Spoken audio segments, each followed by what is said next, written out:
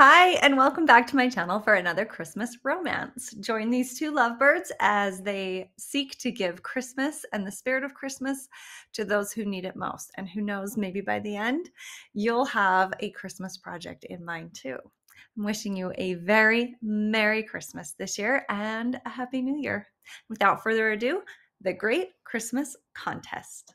Chapter 1 Christmas was kind of a big deal around Three French Hens department store. Unlike many high-end stores in the big city, French Hens, as it was lovingly referred to by employees and patrons alike, maintained a Christmas department all year long. However, in mid-October, the small section on the third floor exploded to transform French Hens into the epitome of Christmas shopping in New York City. The cream-colored granite tile walkways were buffed and polished to the highest shine. Boughs of holly and sprigs of mistletoe hung from arches. Fresh greenery was draped across every surface, the pine needles dropping on a daily basis, much to the frustration of the janitorial staff. Red, gold, and silver bows were aplenty, and the melody of holiday classics pumped through the sound system with cheer. With December officially upon them, the whole city wanted to experience Christmas at French Hens, and the store was crowded from open to close. The owner, a mysterious personage who preferred to remain out of the spotlight,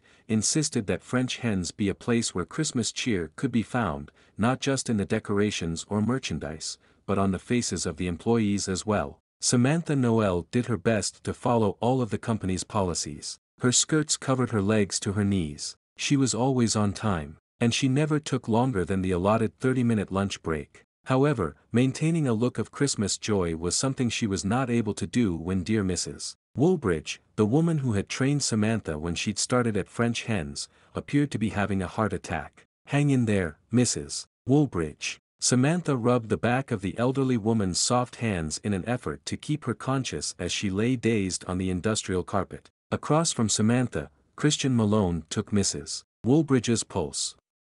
His phone lay on the floor by his knee, a stopwatch running on the screen. A shock of dark hair fell over his forehead, just begging to be tucked back in place. Keep talking to her, he said, lifting his chin and giving her one of those million-dollar smiles that made ladies want to buy whatever he pointed to on the rack. There was no question why he was the top sales associate in the women's department. He often told her she'd do better selling suits to men than dresses to women, if she would flirt a little. But there was something about flirting with married men, even to make a sale, that bothered her like a disorganized sales rack. As fun as Christian was to look at, she often thought that he cared more about his commission than he did about how the women actually felt in the clothing. Store security hovered above the two of them with their backs turned. They kept the crowd of concerned and curious customers out of the way and watched for the paramedics. Hopefully they'd get there soon. Mrs. Woolbridge's eyes rolled back in her head and she moaned. Can't you do something?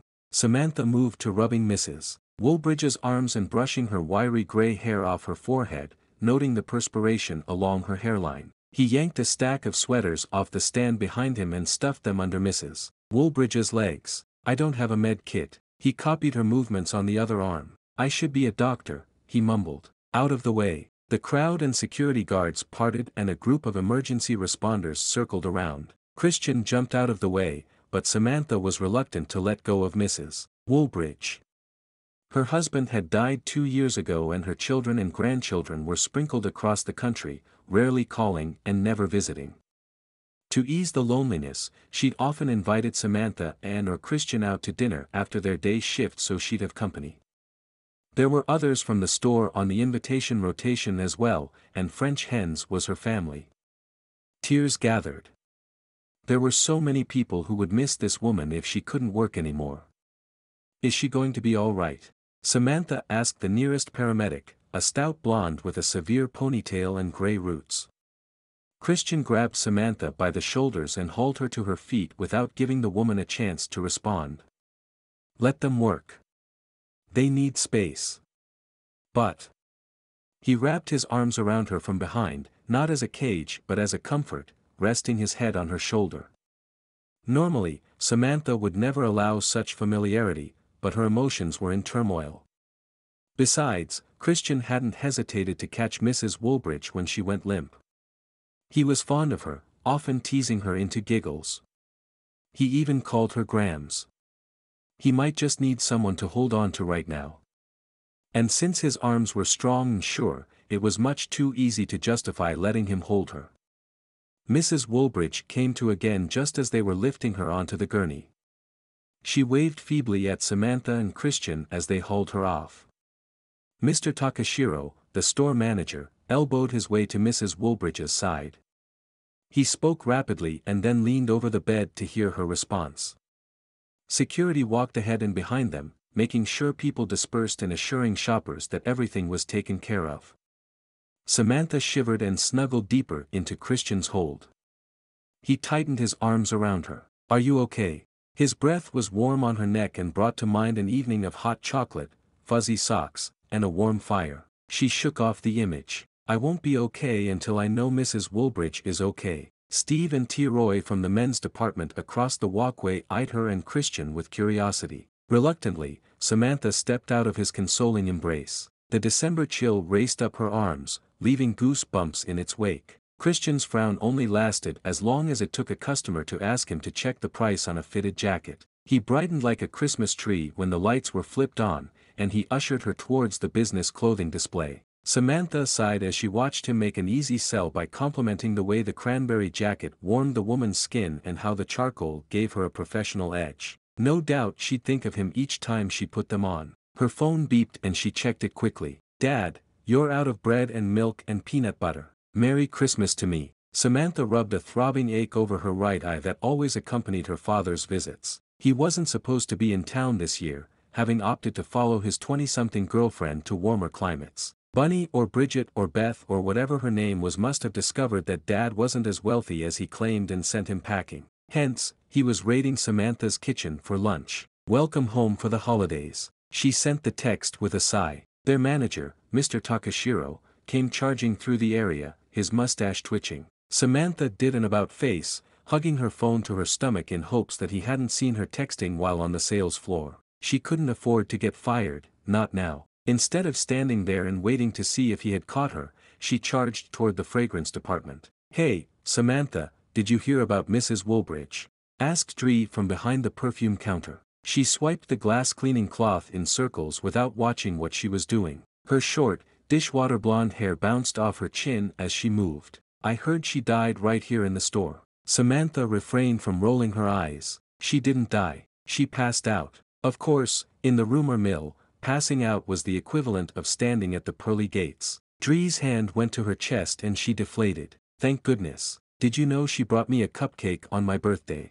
I didn't even know when her birthday was and she knew mine. Samantha nodded. Here's hoping she has many more so you can return the favor. Yeah. Dree stood a little taller. I'm going to email that prayer channel, you know, the My Heart channel that will pray for sick people and stuff, and give them her name as soon as I go on break. That's a great idea. Samantha continued her lap around the store. She had so much energy, so much adrenaline after the whole incident that she needed to move her legs. She swung her arms and decided Dree had the right idea. Mrs. Woolbridge needed all the prayers they could offer. While she was talking to the good Lord, she asked him to bless her to get through her dad's visit with patience. I'm not praying for patience, mind you, because I know you think patience is a muscle that needs to be worked to get stronger and I don't need a test of my endurance right now. I just want to make it through the holidays. Oh, and if you have a minute, help me not to think about Christian before I fall asleep tonight, okay?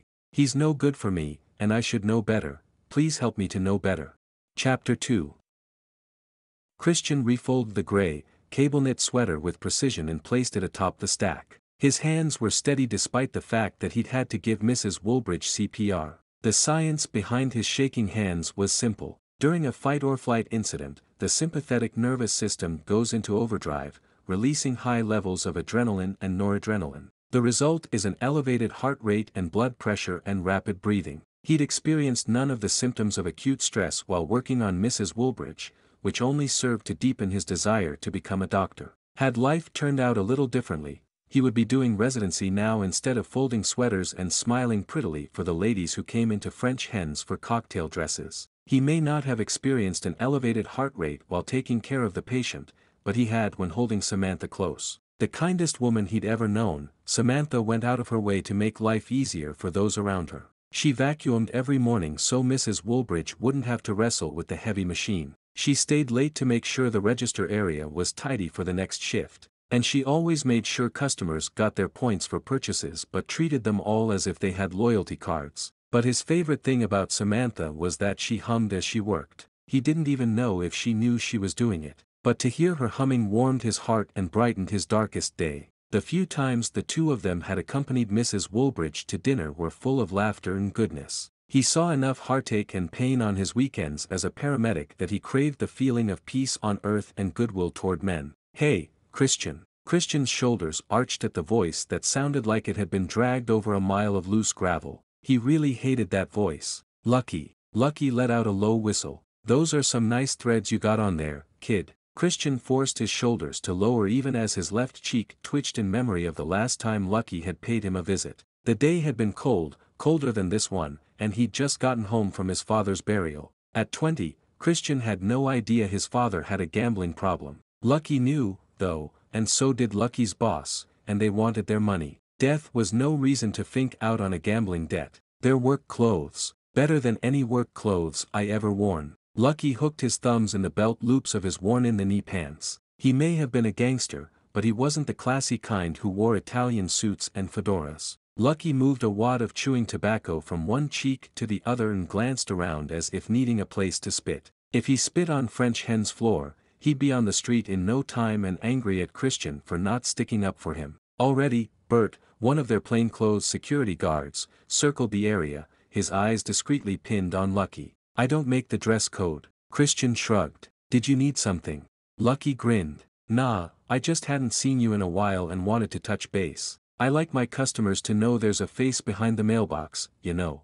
Unfortunately, Christian did know and he mailed payments two days early to make sure he didn't have to see Lucky's ugly mug. His prominent Italian nose took up most of his face, his dark eyes not even trying to compete for space. How he could see through the two slits of flesh was beyond Christian. But see he did. Thanks. You're welcome. Lucky slapped a meaty hand on Christian's back. You know, I'm thinking that if you can afford threads this nice, we're not asking enough out of you. What do you mean? I mean, fancy pants, your payment just went up 500 a month. He pounded Christian's back. Merry Christmas, my friend. He walked slowly backward. I'll be watching the mailbox for your letter. Christian's heart sank to the floor and he nodded mutely. There was no use arguing the payment amount. Lucky didn't care that he was barely getting by, that he'd already given everything, including the education fund his grandparents had left him before they died, just to get the payments down to a manageable level. 500 more a month would do him in. Not for the first time, Christian considered running away. Could Lucky's boss really find him in a small town in Montana? With computers and the internet, probably. One electrical bill in his name and Christian would be left out in a field somewhere to be eaten by wolves. He had to find a way to make that payment, even if it meant quitting his EMT job and finding something that paid more. He pushed the idea away. All he had was a high school diploma, his certification, and a mountain of debt he didn't accumulate. He was stuck and in desperate need of a Christmas miracle. Chapter 3 Samantha hugged her purse to her chest as she wove through street traffic to get to work. She wasn't normally a paranoid person who assumed the world was out to steal her hard-earned paycheck, but one night with her dad had her hiding great-grandma's silver spoons and her mother's engagement ring. There was a reason mom left the ring in a safety deposit box for Samantha to claim when she turned 18. Her dad had sticky fingers. It wasn't that he was a thief, he never took from others. He was more of a raccoon who thought that if he needed something more than she did, it was his right to have it. At least he respected her physical space and didn't complain about her hot pink comforter with ruffles. Dad may be a lot of things, but Prissy was not one of them. Perhaps that was why these women, only a few years younger than Samantha herself, found him so attractive. He was the ultimate alpha male. That kind of man was great for dating, but he made a bad father for a little girl, which was exactly how Samantha felt at the moment, small and insignificant on the mean streets of New York. She merged into the revolving doors at French Hens and breathed in the fresh pine and cinnamon scent, a warm welcome on this cold winter day. Samantha. Mr. Torres hurried her way, his short legs working overtime to move him quickly before the store opened. His hand was in the air, as if hailing a cab, and his bald head reflected the fairy lights draped across the tiled path. Samantha put on her French hen smile and chirped, Morning, good morning, good morning. He stopped in front of her, pressed his palms together, and touched his fingers to his lips. We have quite a puzzle this morning. We do. Yes, yes. He jerked his head, indicating she should follow him. Samantha fell into step, shortening her stride to match his. He headed straight through the store to the back, where the employees' only sign separated the flashy storefront from the functional storage area. There was also a lunchroom, with white laminate tiles, gray tabletops, and white appliances that should have died a decade ago but continued to hum louder than a subway train. You have been asked to report to the upstairs office. The nature of the request was not made known to me, nor was the duration of your meeting. He stopped in front of the employee elevator and pressed the call button, rocking back on his heels as he did so. I trust you're happy working here. Of course. Samantha stared at him. Good, good. Can you list three things that are going well on the sales floor?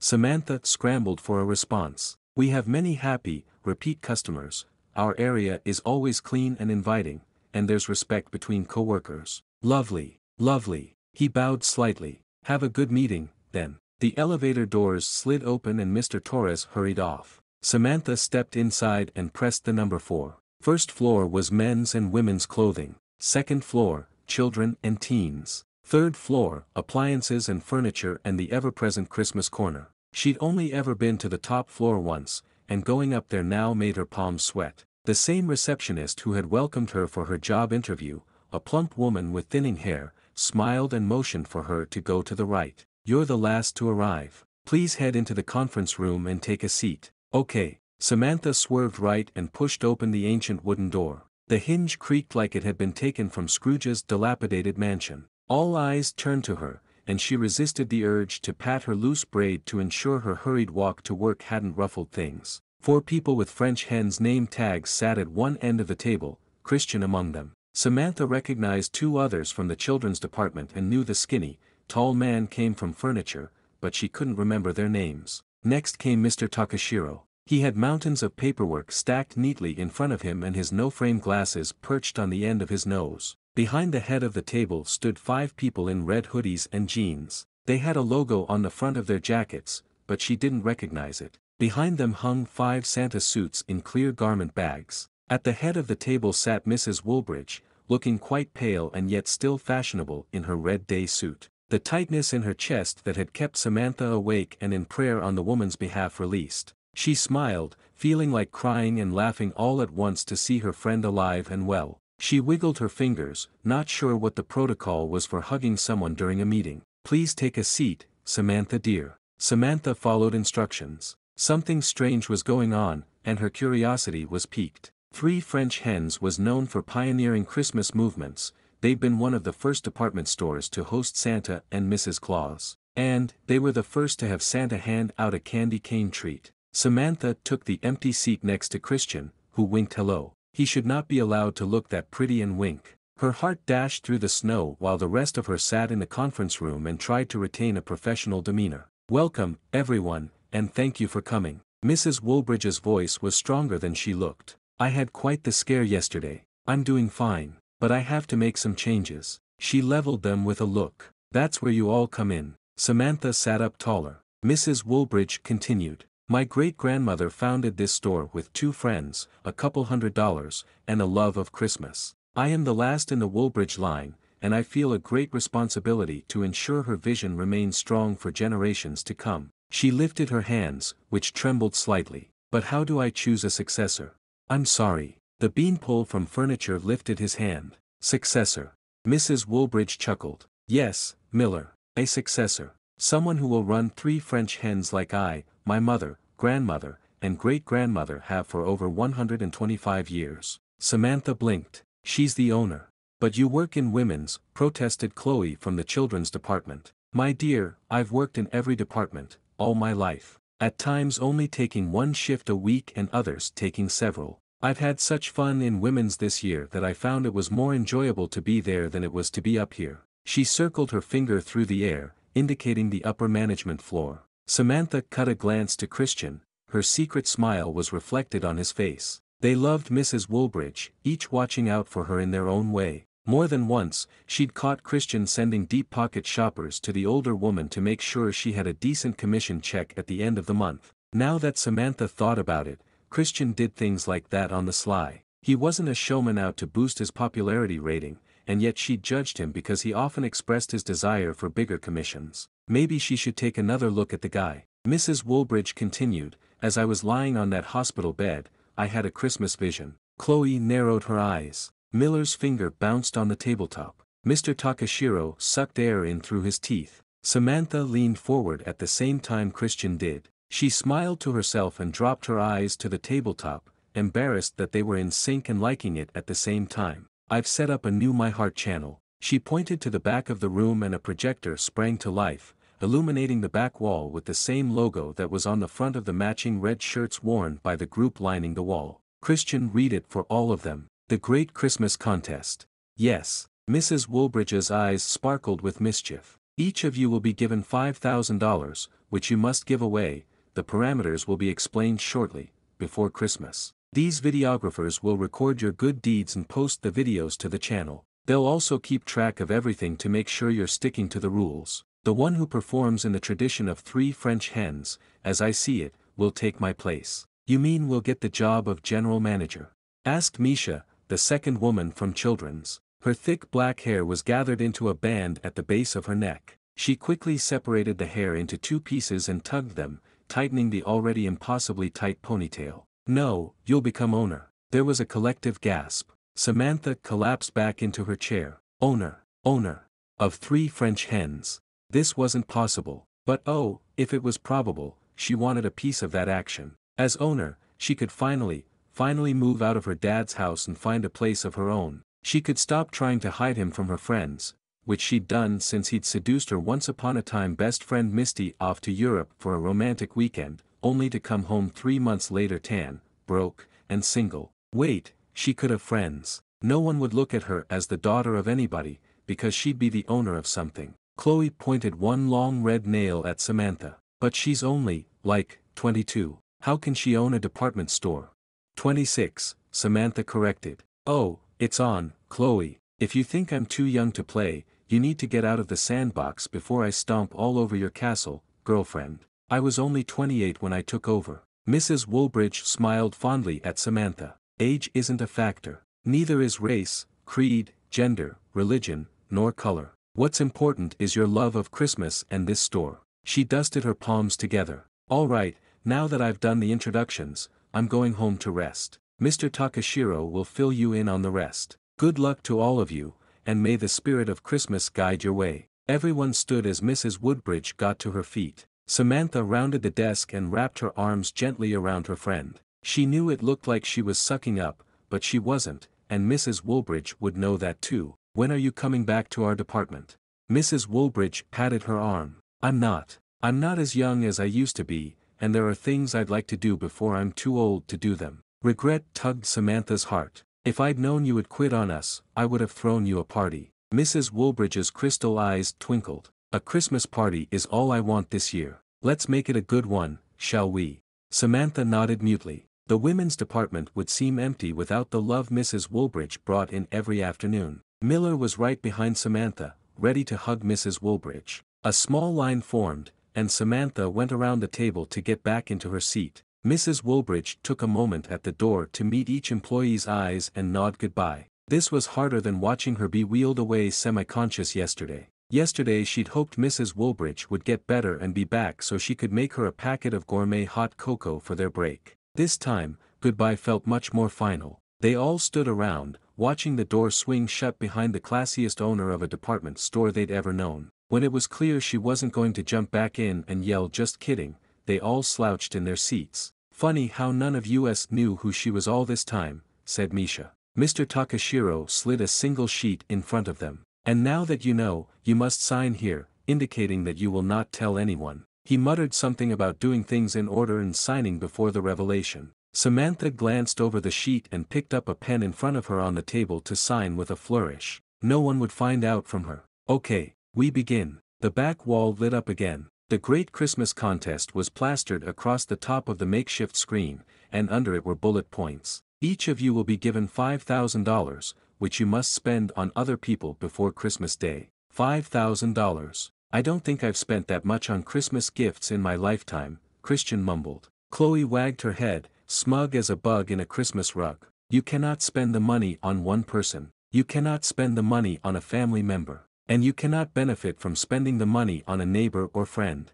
If you have to make your gift giving anonymous to make that happen, that's okay. Here's a copy of the rules so you don't forget. Mr. Takashiro handed out the sheets. However, your gifts cannot be random. They must be thoughtful. You have to meet a need, make a Christmas wish come true. Become Santa. Samantha chewed her lip. In addition to the selflessness requirement, we stipulate that you must spread the funds between at least 20 people or families. The funds can be allocated however you choose, but if you don't give to 20 people, you will be disqualified. Your videographers will keep count, so make sure you keep them in the loop. Misha raised her hand. What if I don't know 20 people?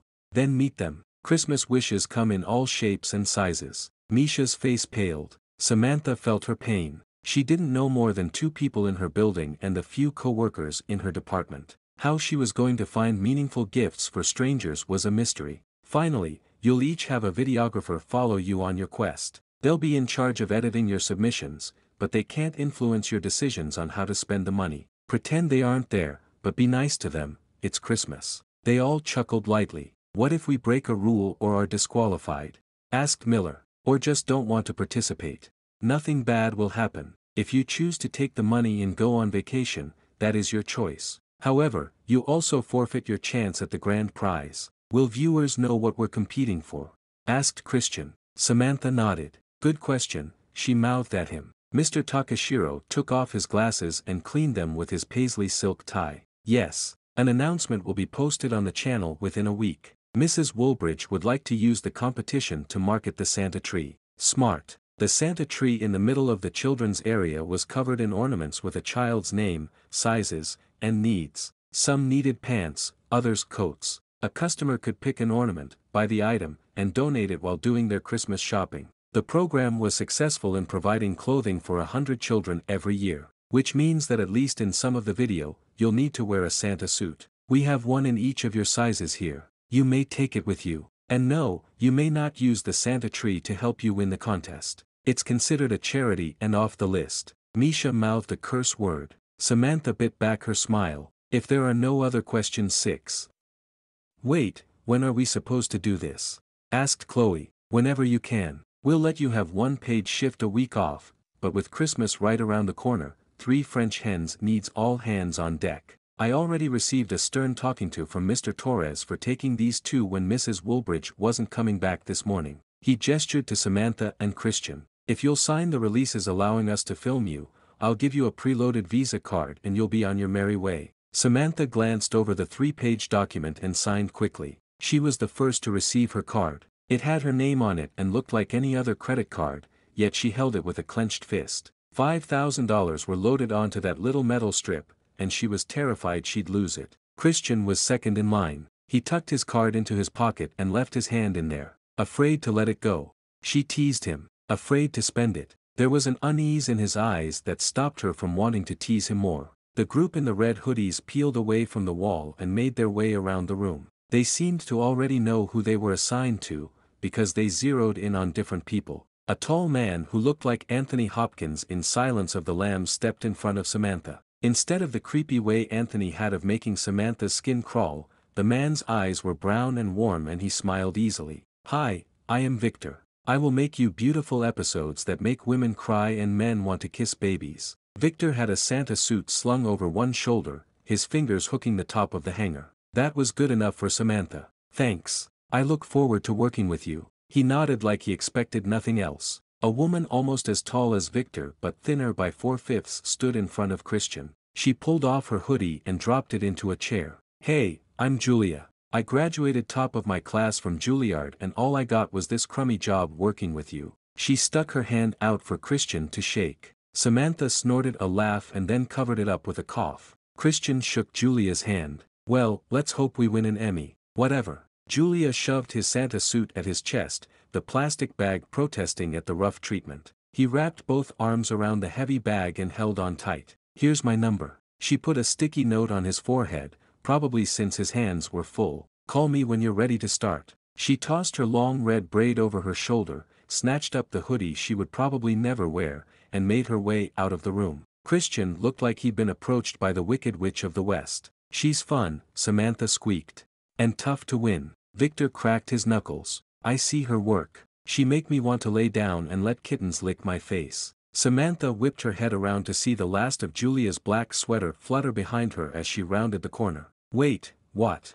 She asked Victor. I send you link. You will want kittens too. He pressed a sticky note with his number onto the garment bag in her hands. Call me. We start soon. Sure. Samantha nodded as Victor left. She set her Santa costume over the back of a chair and plucked the note off Christian's forehead. He dumped his suit next to hers. Thanks. I wasn't sure if she'd put a curse on it or not. Since you pulled it off, the curse is on you. Samantha chuckled. I'll take my chances. He rubbed the back of his neck. So, you probably have a dozen ideas already, don't you? She tipped her head from side to side. I thought I might buy Julia a personality. He chuckled. I doubt they make them in her size. A silent sigh of relief swept through her at his dismissal of his videographer. Julia was stunning in a puffy-lipped, clothes draped beautifully across my body, natural redhead way. Even with her sour outlook on life, guys would take a second look. Christian didn't, though. He'd looked scared of her. That was just fine with Samantha, though she had no idea why that made her so happy. How about you? She was more than a little curious to see what he would do with the money. Christian kept his private life close to his vest. He was fun to laugh with in the moment and easy to talk to about day-to-day things, but they didn't delve into one another's background, which suited Samantha just fine, considering her background included her womanizing father. I'm drawing a blank. He pulled back his chin and widened both eyes. Honestly, I have no idea what I'm doing here. I'd donate the whole thing to Big Brothers, but six. But six, Samantha prompted. Besides it being a charity and off limits, she sensed there was something deeper going on here. He shook his head. Do you know what the most dangerous gift is? Samantha paused for a moment. Dynamite. He smiled sadly. No, the most dangerous gift is hope. He pulled the card out of his pocket and ran his fingers over his name. Suddenly I have more hope than I have in years, and six, he looked up and locked eyes with Samantha. I'm scared. Samantha closed a few feet between them, wanting to offer comfort to the troubled waters swirling behind his eyes. She spoke low. What are you? Why are you still here? Mr. Takashiro waved his hands at them. They looked around and found the room had emptied while they talked. Go out there and be giving. You can't win by staying here. Christian laughed, and the seriousness of the moment they'd almost shared went up in a puff of smoke. Samantha was still thinking about what Christian had said hours later. Scared. What a strange thing to say. His almost confession left her puzzling over what could frighten a man like Christian. She meditated over it right up until her shift ended and she was confronted with the reality of giving away five grand. How exactly did one go about doing that? Chapter 4 Some would say that New York was dingy in the winter. Dirty clumps of snow gathered in the corners, left over from the last storm that had as much punch as a Christmas party. But Christian always thought this was the time of year when the city brightened. Fairy lights appeared, some blinking on and off, others burning brightly. Scarves in every color of the rainbow could be seen in a two-block stretch along 34th Street, and whimsical decorations appeared in windows. The city sidewalks streamed with shoppers, which gave the impression that a person was never alone, someone was always within elbowing distance. However, walking in the midst of a hundred strangers with a Santa suit over one shoulder was the perfect place for Christian to become lost in his thoughts. This contest was like a miracle hovering out there, just waiting for him to grab on and run with it. Like his dad used to say, you have to risk a lot to win a lot. Risk, something Christian wasn't very good at. He used his key on the front door of his building and shut it firmly behind him. A couple of weeks ago there'd been a break-in and the super blamed everyone in the building for leaving the door hanging open.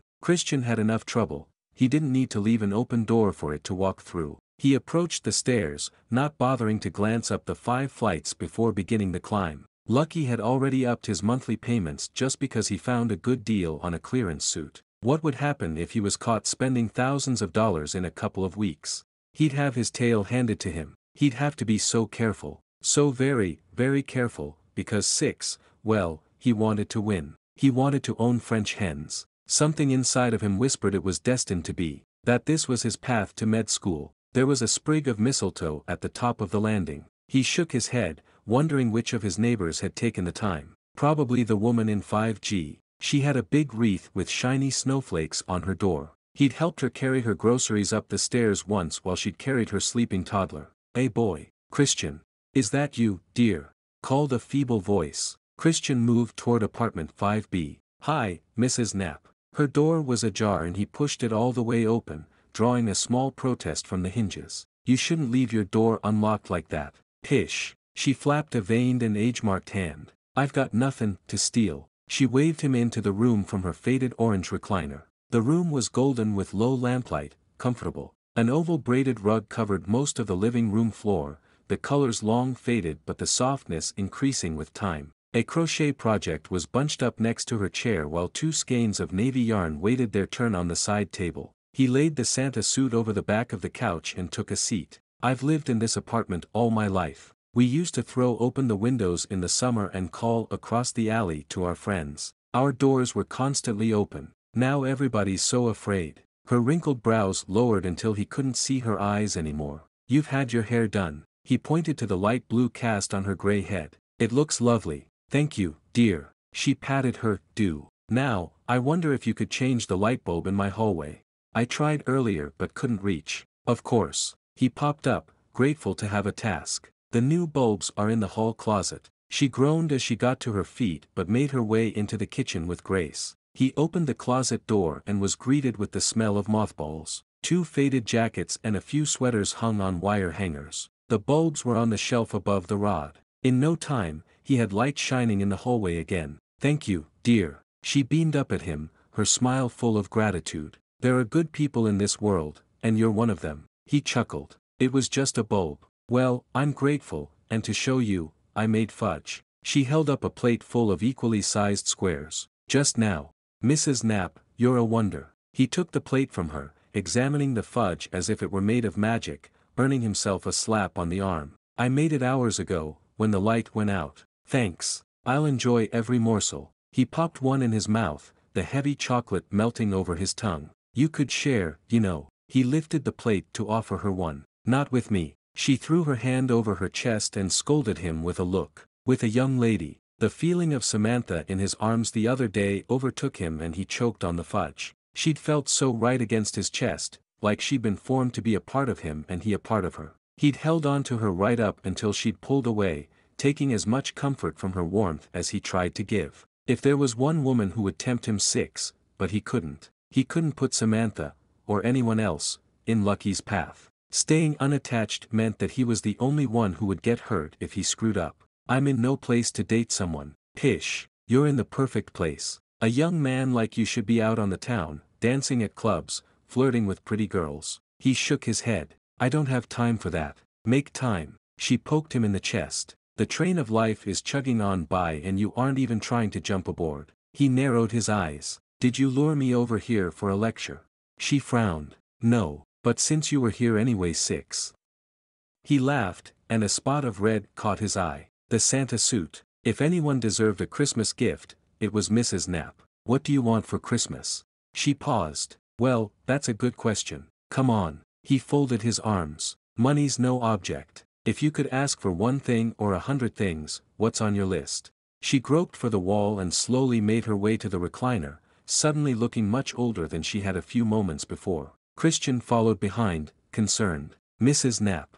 Sorry. She ripped a tissue from the box on the side table and swiped the corners of her mouth and then her eyes, which took on a faraway look. We never had much, Richard and me, but we had a whole lot of love. A strange sort of energy pulsed through him, a feeling that he had the power to help someone. It shoved him to the edge of the cushion, leaning forward. I guess six, she glanced at him quickly, and he nodded for her to continue. I guess I'd like a headstone for his grave. It's unmarked, and I've always felt bad that I didn't do better by him, but by the time I paid for the casket six, her shaking hand covered her mouth for a moment before she straightened up. Well, that's what you get for asking, an old weepy woman's regret. This was perfect. A headstone fit all the requirements for the contest. Christian patted her knee. I'm sure your love was more than enough for Richard, Mrs. Knapp. She smiled sadly and lifted her palms. It was all I had to give. Would that you were thirty years younger. He winked, making her blush. More like fifty years, but I'll let that one slide. They laughed, and he took another bite of fudge as he stood up. I'd better get home and make myself some dinner or I'll eat all this and the plate too. And he had some research to do on headstones. Okay, dear, you think about what I said about finding yourself a lady. Thanks for the fudge, he said noncommittally as he snatched up his suit. They said goodbye and he shut her door firmly behind him. She wouldn't lock it until bedtime, but at least it wasn't an open invitation for trouble. With a new bounce in his step, he hurried to his own door and inserted the key. With any luck, he'd be able to get a headstone for Richard, mark off one of his 20 good deeds, and bring some well-earned light into Mrs. Knapp's eyes. As he went about making dinner for one, he found himself thinking more about a dinner for two with Samantha. He was so caught up in the image of the two of them sitting at his table, a single candle flickering in Samantha's brown eyes, that he forgot about the soup and burned it to the bottom of the pan. Chapter 5 You do many small gifts. I make montage, said Victor. Samantha struggled to keep five boxes from sliding out of her arms and landing on the sidewalk. Not that anything was breakable, but she wanted the wrapping paper to look nice. Victor had a small camera bag slung over his shoulder and a handheld recorder. Nothing big and fancy like she saw Hollywood types use when they closed off a street for filming which didn't happen often, but enough that she knew a professional camera was big and black. Victor's palm-sized silver one left her doubting his abilities. He jogged in front of her and flipped open the small screen. Okay, you tell me about gifts, but you were there when I bought them. He rolled his eyes, his bald head reflecting the streetlights above. Tell camera. Oh, she gathered her thoughts. Okay, so, when I was little, my dad wasn't around a lot. Where mom? Mom was gone. You have no mom. Victor lowered the camera, his face a mask of concern. Oh my gosh, Victor. This isn't about me. She looked pointedly at the camera. But you started with your story. She let out a heavy sigh as she skirted a couple too caught up in one another's gaze to care that they almost ran her over. Anyway, Victor brought the camera back up. So I was home alone, right? And there was this older couple a few doors down who would check in on me. They, um, they have a special needs son, so one of them was always home. She blushed, thinking of the way Dad had dropped her on their doorstep, unannounced and uninvited. Though they always welcomed her with open arms, the surprise in Mr. Irving's eyes told her all she needed to know and the contrast between the man leaving her on the doorstep and the one offering a hug. It was also enough to tell her what she needed to know about the kind of man her father was. So their son, David, loves Star Wars. He's totally obsessed with it, but Star Wars toys aren't cheap, so he doesn't have many. I think he's had the same ones all his life. She lifted a shoulder. When I thought about making someone's Christmas, I thought of David. Why not buy his parents' gift? Because they'll get more joy out of watching David open these than they would if I bought them something. Good people, the best. Mr. Irving tutored me in math all through high school. He's an accountant. And Mrs. Irving always bought me a new shirt for the first day of school. Her eyes burned with unshed tears. She laughed at herself. Look at me. I'm a mess. You'd better not put this in the video. Victor chuckled but didn't comment. Samantha slowed her steps. That's the one. She nodded towards the two-story brownstone with crumbling front steps and a giant Christmas tree in the front window. The red curtains were thrown wide to allow people passing by to partake of the festiveness. In contrast, her place next door was dark and dreary. Dad must have gone out for the night. She prayed he'd cleaned up after himself and she wouldn't have a sink's worth of dishes to do when she went inside. Victor poked his head out from behind the lens. What are you waiting for? She took a deep breath. I can't decide if I want to drop them on the doorstep or take them in. She chewed her lip as she thought. The Santa suit was in her room. She could easily slip inside and put it on. Take them in, better footage. That sealed it. She wasn't here to exploit the Irvings. That was something her father would do. We'll leave them on the doorstep. Victor scowled. Don't look at me like that. He didn't move towards the stoop. Are you coming? She assumed he'd want shots of the gifts on the step. He wrinkled his forehead, which in turn wrinkled the top of his bald head. Let's open one so I can at least get his reaction from across the street. She was shaking his head before he finished. I want David to open them all, but if you want to win, I need reaction. She closed her eyes. Do we really? Unless you can save a kitten and I can film that, then yeah. What is with you and kittens? Samantha turned to her own steps, just as old as the ones next door, and set the gifts down carefully. She selected the smallest one and unwrapped it, revealing a Darth Maul action figure. With careful fingers, she attached the tag with David's name to the neck. There. She turned it around and smiled at Victor. Happy. More so, yes. He looked over his shoulder. I film from there. He jogged across the street. Once he looked settled in, like some oversized hoodlum up to no good, Samantha made her way to the Irving's door. She arranged the packages just so. Her pulse spiked and she threw a huge grin over her shoulder. Counting to three in her head, she rang the bells and sprang down the steps, across the street, dodging a minivan, and hid behind Victor. Subtle, he teased her. She wasn't hiding well, her breath puffing up into the air in short bursts. A few seconds passed, and Mrs. Irving opened the door with a smile. She looked around and then glanced down, and her hand motioned to someone behind her while she called out, David, Trevor, come look at this. In a blink, the family was huddled at the door, looking down at the pile of gifts. David was bigger now, taller than his dad. His round, chubby cheeks reddened quickly in the cold. He reached out slowly for the action figure on the top. That's my name. His happy shout could be heard all the way across the street. He spun into the house, taking the toy with him and leaving the others. Samantha's grin stretched wide. Mr. and Mrs. Irving talked excitedly as they gathered up the other gifts. Thank you. Mrs. Irving called into the night, pressing her lips to her fingers and throwing the kiss out into the world before shutting the door. Samantha came out from behind Victor. She kissed her own fingers and tossed the kiss towards the front door. Thank you, for everything, she replied. Victor snapped the camera shut. I must edit. He took off at a quick stride, as if inspiration were nipping at his nose instead of Jack Frost. Not saying goodbye and not seeming to care. Samantha waved, though he didn't see it. She watched the scene through the front window of her neighbor's house. They were laughing and smiling. Maybe she should have left the gift in the morning, he looked too excited to sleep tonight. Despite her small doubts, she had a full heart. One down, 19 to go.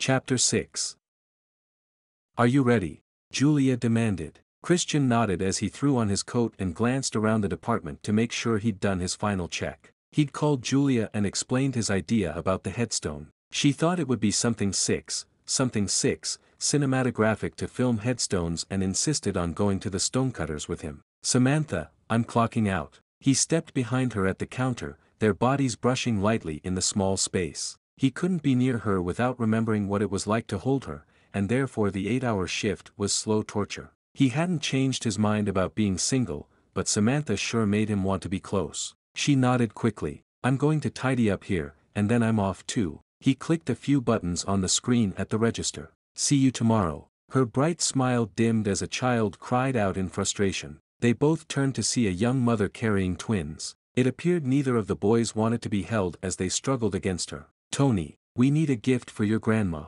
Hold still for one minute, would you?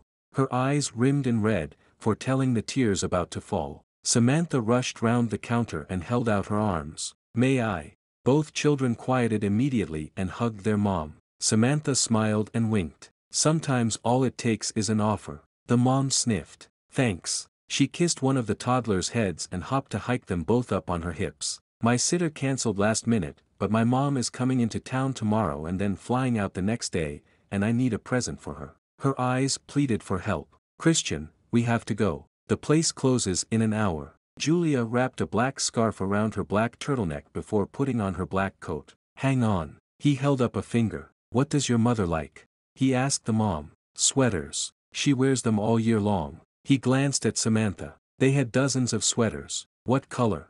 The mom rolled her eyes. Mostly white or cream, so they'll match everything. I have just the thing for a busy mom at Christmas. Chloe swept in, wearing her Santa suit and pushing a double stroller. She didn't ask permission, but took one of the toddlers, ho-ho-hoed, and buckled him into the back seat while they all watched in shock and awe. Turning to face her videographer, Chloe said, being a mom is hard work with no pay and little appreciation. We should be celebrating moms every day of the year, but especially at Christmas. Smiling, she turned back to the customer. This is for you. She flourished her hands over the stroller. A gift from old Saint Nick. The mom beamed. Are you kidding?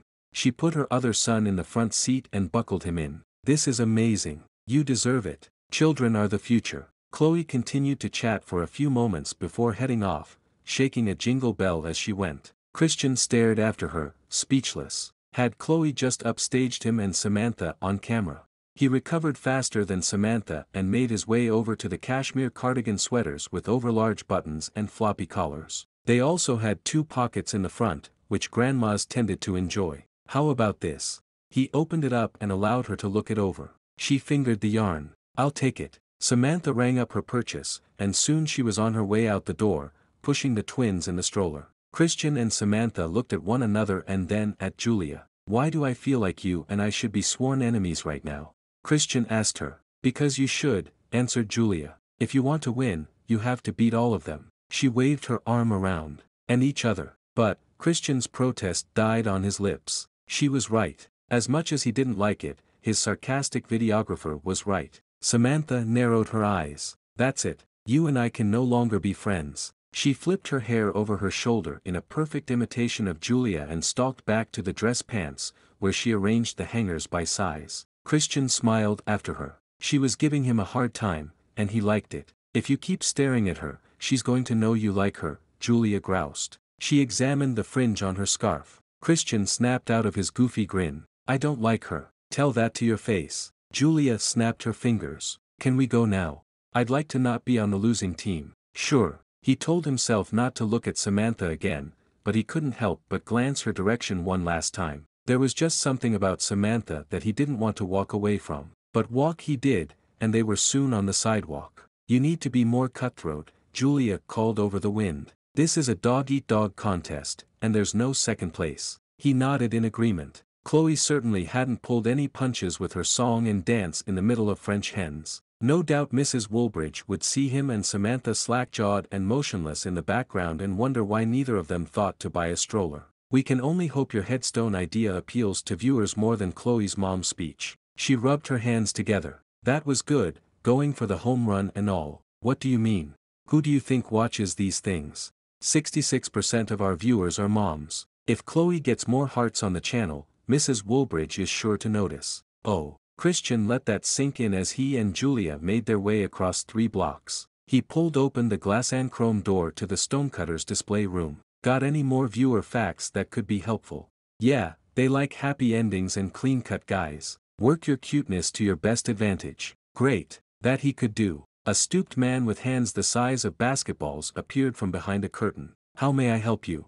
Cinema Gold, Julia whispered as she scrambled for her camera and started filming. Christian had to admit, he did look like a reincarnation of Ebenezer Scrooge, black dress and all. Christian asked about headstones, prices, and inscriptions while she filmed. All the while, he couldn't help but think that this was a bad idea as far as gaining hearts. Who wanted a ghost story for Christmas? You know, besides the one by Dickens. Maybe he should back off the headstone and come up with something for a mom. Dejected, because he couldn't order the stone without knowing Richard's birth or death dates, let alone where he was buried, he said goodbye to Julia and trudged home, where only a few pieces of fudge waited in an empty apartment. Chapter 7 A light snow fell as Samantha made her way home. It dusted her shoulders as if she were an antique clock in need of some care. Perhaps she was in need of attention, because she carried a sense of being cheated, and she knew just who to point the finger at, Chloe. Technically, Chloe hadn't broken any of the rules. She didn't use the giving tree, and she had made a difference for the shopper by providing a double stroller. And technically, there weren't any rules about having other contestants in your video. And technically, there weren't rules against making other contestants look like fools. But technically speaking, there shouldn't have to be rules in place for Chloe to show some respect. Samantha's footsteps grew louder as she marched up the front stairs and through the door. She slammed it shut behind her, cutting off the cold air and sending a swirl of snowflakes into the entryway. With jerky movements, she shed her coat, hat, and gloves, throwing them into the basket by the coat stand. Rough day?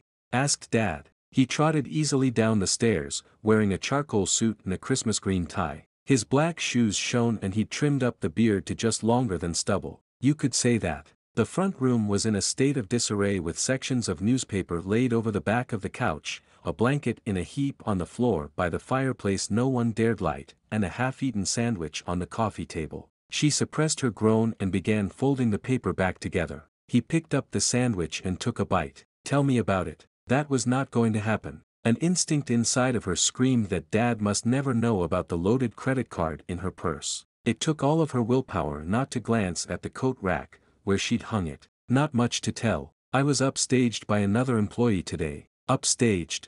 He spoke through his mouthful of food. When he was like this, it was hard to understand what women saw in him. Yeah, I was taking care of a customer and she got right in there and took over. Was this in front of people? A strangled noise escaped her throat as she thought of the growing numbers of subscribers to the French Hen's My Heart channel. A few. You're too soft. He tossed the crust into the garbage and held out his hand for the newspaper, which he stowed in the recycle bin. Samantha retrieved the blanket and began folding it with sharp, quick movements. I'm not soft. Oh, come on. You're like a little innocent lamb waiting to be made into lamb chops. You wouldn't survive a minute in the real world. Hot indignation boiled inside of her. Thanks ever so much, Dad. You'd think a girl's father would have her back. Ah, don't get your feathers ruffled. You take after your mom, God rest her soul. Dad. Samantha threw the blanket on the couch, where it immediately unfolded. Mom didn't die. Is that what you tell people? Geez. What a wretch. He lifted his palms in innocence. Well, she could have. We don't know. Samantha crammed her fingers into her hair and grabbed at the roots. I'm not even sure we're related, old man. He came around the couch. Thankfully, you've got my good looks. He winked and kissed her cheek. Samantha's anger melted a little, though the hurt from hearing his honest opinion of her remained bright. She released her hair. You're a con artist. You can't change who you are, darlin', any more than I can change my good looks. He adjusted his tie. Speaking of six, how do I look? Samantha tipped her head and squinted her eyes. Dad's hair, still dark and thick, had a natural wave. A tan lingered from his time in Mexico, and the laugh lines around his deep brown eyes served only to make him look distinguished. When she looked at him, all dressed up and ready to charm, she understood how he beguiled his way into women's lives. She sighed. It wasn't up to her to protect women from Dad's charisma. Besides, she tried to warn her best friend, and all that did was destroy their relationship. To be fair, once Dad set his eyes on Misty, the friendship was pretty much over anyway. All Samantha's counseling had done was speed up the process. As handsome as ever, he sauntered his way to the door. I'm off for cocktails and pretty ladies. Don't wait up. The door clicked shut behind him. I never do, she replied to an empty house. She went and locked the door. Leaning against the heavy wood, she surveyed the house. When Dad left with Misty, Samantha had taken over the payments and the taxes and the upkeep,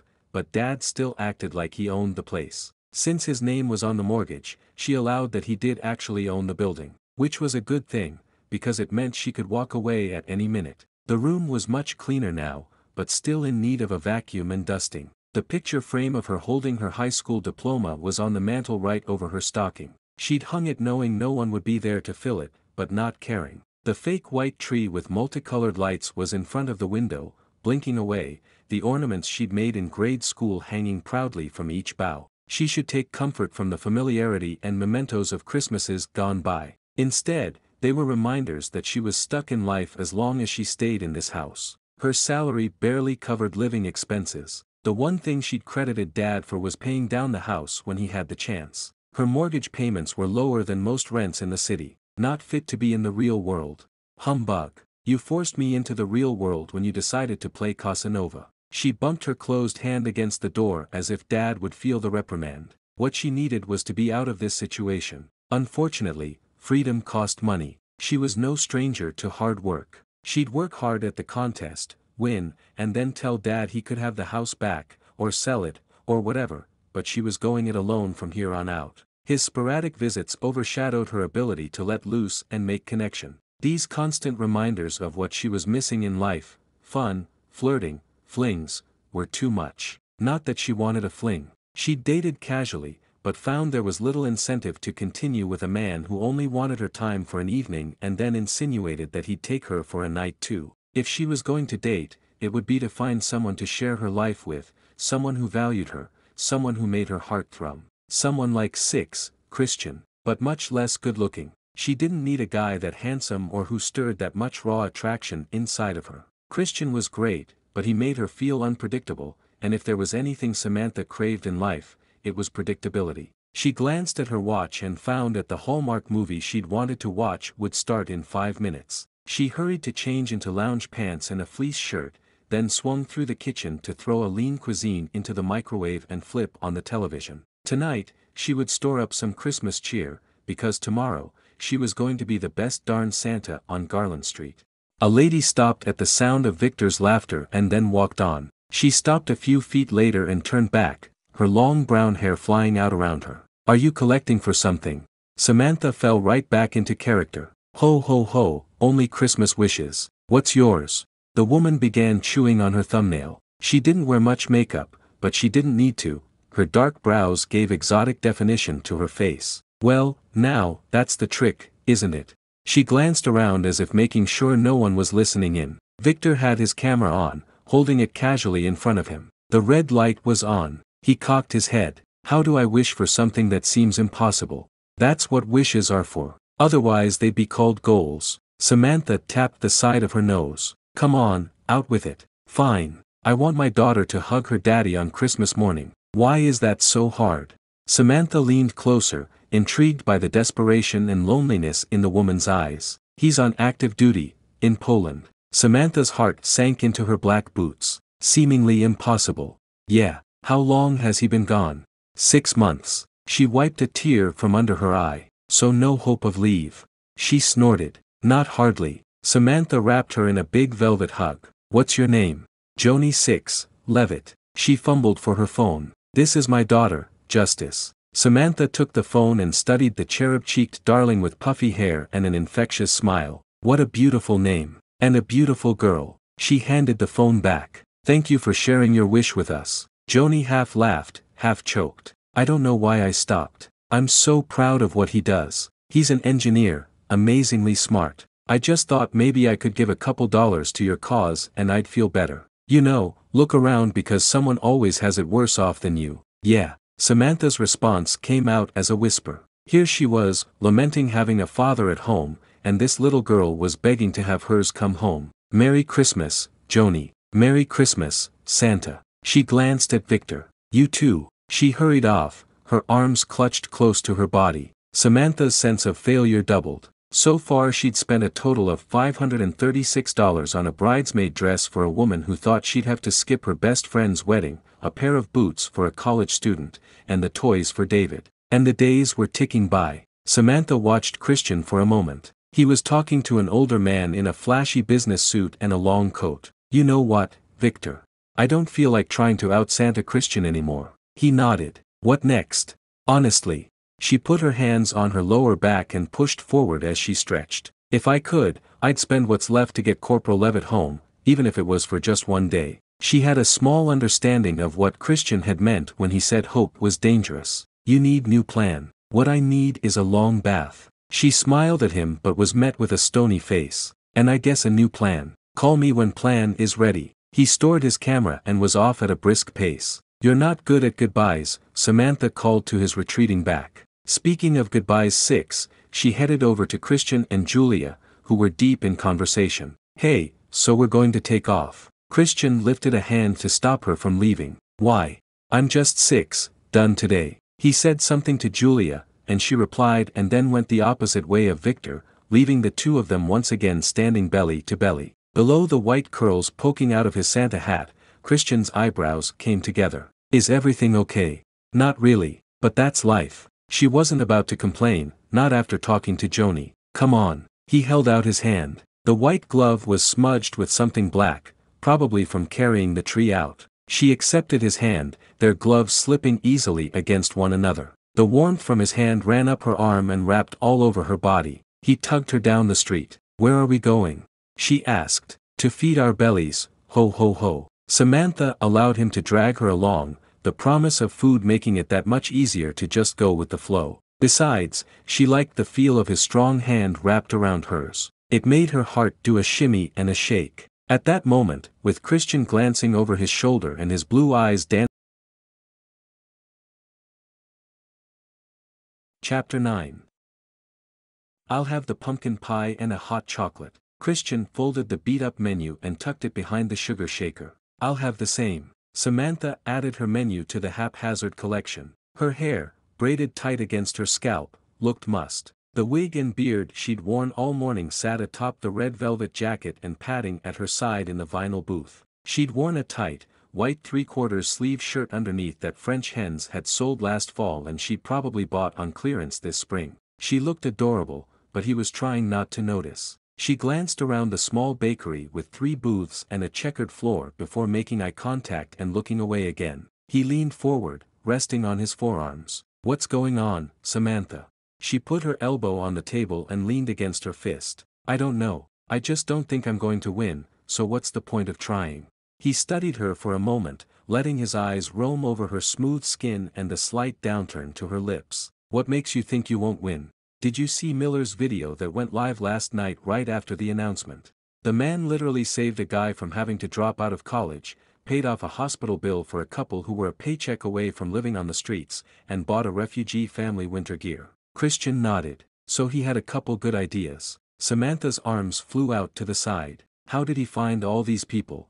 I thought standing in front of French hens was a good idea, but it wasn't exactly original. He clutched his heart. Ouch, Sam. He'd never shortened her name before. Using her full, given name had kept things professional between them. They were moving past professional, though. I thought it was original when I thought it up. She smirked at him, and he saw a bit of the woman he worked with every day peek through the discouragement. Their pie and hot chocolate arrived. He thanked their server and they ate in silence for a moment. Samantha smeared the whipped cream over the top of the pie with her fork, looking at it but not really seeing it. There was one woman today that kind of got to me, yeah. He nudged his foot forward until their boots were touching. She looked up, and he was caught by the depth of sincerity in her brown eyes. She wanted her family to be together on Christmas. Her husband's deployed. He chewed slowly. Brave man. She was really proud of him for serving but missed him terribly. Samantha smiled sadly. I felt so useless. You know. I do. He thought of Mrs. Knapp's wish for a headstone and knew exactly what Samantha was talking about. He'd gone back to Mrs. Knapp's apartment to see if he could get any more information about her husband, but she wasn't feeling well and so he'd left without a lead. Wanting to offer some support, he placed his hand over Sam's. Warmth shot up his arm and hugged his heart before spreading through his whole body. The noise of the bakery faded away, the bell over the door, the chatty clerk, the clinking of silverware on plates, all of it blurred together and then faded out. Samantha's big doe eyes grew wider, like she too could feel that something was different, connective. Christian didn't dare move didn't want to do anything that would stop the feelings of home and desire and Christmas morning and sledding down the tallest, fastest hill that ran through him, all coming from where his hand touched Sam's. So, how's everything over here? The server's nasally voice popped the strange bubble of time and space and attraction. Samantha snatched her hand away. Fine, just fine, thank you, you're welcome, sweetie. She fiddled with her napkin and kept her head down. Christian shoveled two bites of pie in his mouth. Whatever had just happened between them, whatever feelings he may have for Samantha, were better left unexplored. She wasn't a woman hardened to the world, but he would bet dollars to candy canes that she didn't have to deal with a brute of a man who garnished her paychecks. And he preferred to keep it that way. You shouldn't give up on the contest. Why not? Because 6, he groped for a reason. Because it's a once-in-a-lifetime opportunity. A golden ticket. She stared out the window. Even if I don't win, I get to help people at Christmas time, she conceded. True, duh. He should have led with that. He watched her while she watched the street traffic. The first time he'd met her was her first day at French Hens. She'd had on a black skirt and a white button-up shirt, nothing fancy. And her hair was up in some twisty thing. But he was caught off guard, thrown for a loop by her appearance in his life. He remembered thinking you're early, and then thinking he was an idiot because she was there to work, not to be his. Over time, they'd become comfortable around one another, but he'd always kept her at arm's length. As afternoon sun bathed her cheeks in soft golden light, he had the feeling that maybe she was meant for him and he for her. She turned away from the window and he ducked, embarrassed to be caught staring. Thanks for the food. She took a sip from her cocoa mug. Don't quit, Sam. He liked shortening her name, it made him feel closer to her. You had fun this morning, right? For most of it. She smiled. The kids were so cute. Yeah, when they don't grab onto you like suction cups. He'd had to help a mother rip her son off his leg at one point. Her small smile stretched into a grin. I thought for sure you were going to walk around with him sitting on your boot all morning. If his mom hadn't offered to buy him a donut, I probably would have. She laughed, and the sound of it lightened his heart. I guess Santa can't compete with pastry. Their chuckles died off and she grew serious again. Do you think I'm a pushover? What? I don't know. Someone told me recently that I had no killer instinct, that I wasn't cut out for the fast lane. You were pretty determined this morning. I thought you were going to sumo wrestle me for the filming location. The corners of her mouth tugged up. I think if you wanted something bad enough, nothing could stand in your way. Is that a killer instinct? Probably not. But that just means you aren't willing to hurt others to get your way. Some would say that was a positive character attribute. He lowered his chin, encouraging her to make eye contact. When she did, he said, There's nothing wrong with being a good person. She let out a breath. Thanks, Christian. The way she said his name like she valued his opinion, like she valued him, made his heart race. Of course, you realize I'm still going to out Santa you. She burst into a laugh and covered her mouth with her hand. You were so funny. Merry Christmas. She mock copied his outburst form earlier. He grabbed his stomach, teasing her. Ho ho ho. They laughed at themselves and then at each other, and by the time they left the bakery, Christian knew Samantha was a woman he could fall in love with, if only he were free to fall. Mr. Takashiro's brow furrowed. On just one project or on the whole thing? The whole thing. Christian was being presumptuous now and he knew it, but he wanted all the time with Samantha he could get. He cut a glance to Samantha and was relieved to see she wasn't panicking. Perhaps she wanted to spend time with him too, or maybe she was too overwhelmed to want to continue on her own. She had seemed pretty down yesterday. Mr. Takashiro got to his feet so fast his chair rolled back and hit the wall. You can't just go changing things in the middle of the contest, Mr. Malone. Do you have even a small clue as to how much work this would mean for my staff? Christian cringed. He hadn't thought about any of that. All he'd been thinking about were apples and cinnamon. Samantha scooted to the edge of her chair, her back straight. Not as much as you'd think. We'll still give away our individual $5,000 and help at least 10 people each. He tapped the ends of his fingers together. I have to make a phone call. Instead of sitting at his desk and picking up the receiver, he stormed from the office, slamming the door behind him. Samantha widened her eyes in mock horror. Remind me not to ask for a raise this year. Christian twisted in his seat so he could look at her better. If there was only one perk to combining their resources, it would be the chance to look into those stunning brown eyes each day. He shouldn't allow his infatuation free rein or he'd do something stupid like ask her on a date or try to kiss her. By keeping the focus of their outings on the contest, they'd have a purpose, goals, and assignments that would keep his mind from thinking about how her lips would taste. The door flung open and Mr. Takashiro entered, his cell phone out in front of him. I'm here with them now. Good, good. Mrs. Woolbridge's voice came through the speaker. Christian and Samantha immediately perked up. Samantha grabbed the edge of the desk. Mrs. Woolbridge, how are you? We miss you so much. Aren't you a dear, Samantha? I'm doing well. I have a personal trainer who keeps me moving, and I'm in a pottery class. I get positively covered in mud and I love it. Christian chuckled. I'll bet you give them all a run for their money. I do,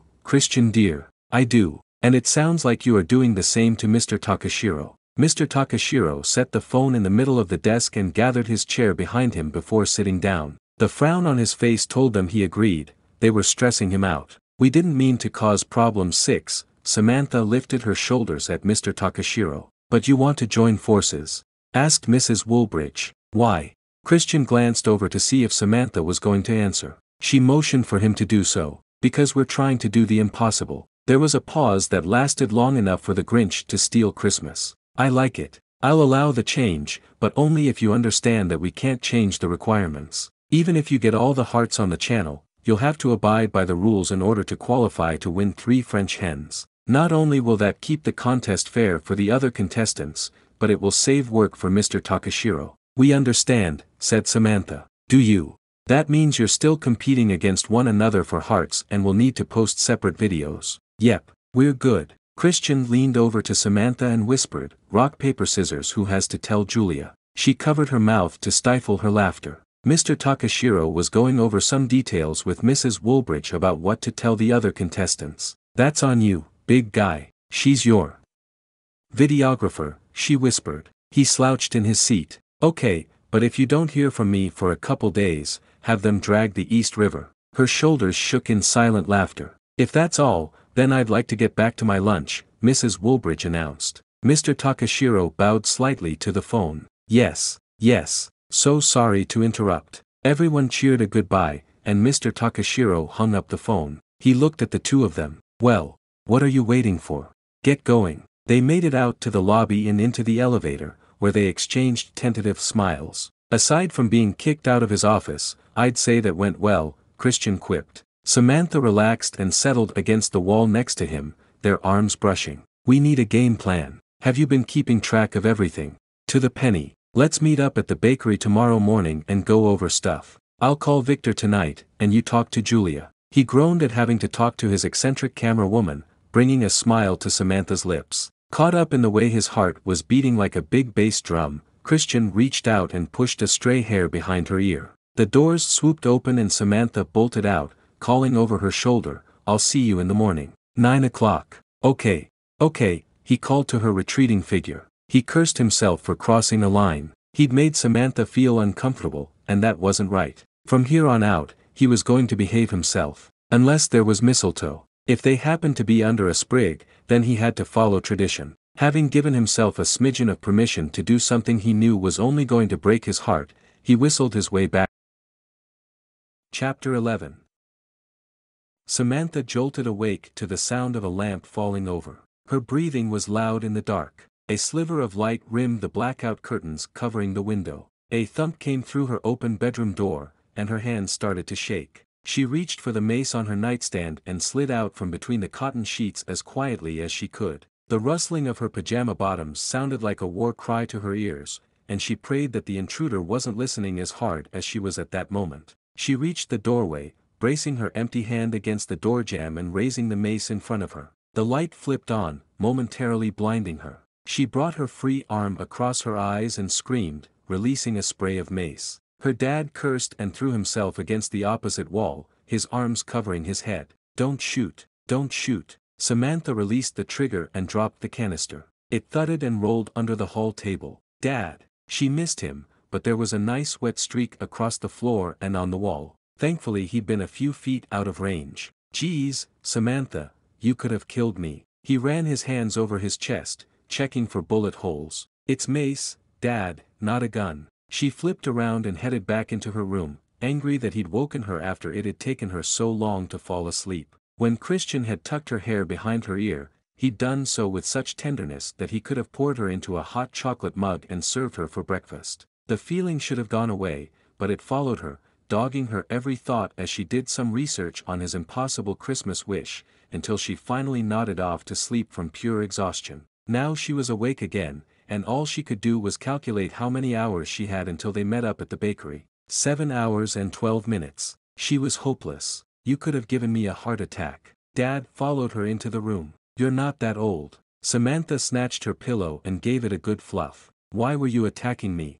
Samantha stiffened as he walked the perimeter. He picked up her snow globe, the one he bought her for Christmas when she was 12, and shook it so the snow swirled in all directions. I heard a noise and thought someone broke in. I didn't expect you back tonight. He looked her over with a critical eye only her dad seemed to have. I'd worry you were hiding a guy in here, but if you were, you wouldn't be wearing snowman pajamas. She glanced down at the fleece bottoms and loose t-shirt top. She liked this pajama set. Any guy worth having over will like my pajamas. Christian would like them. He was the one who'd helped her choose between the snowmen and the candy canes. You know, if you want to catch a man, you've got to wrap the package a little better. Dad, I'm not wearing this on a date. When was the last time you had a date?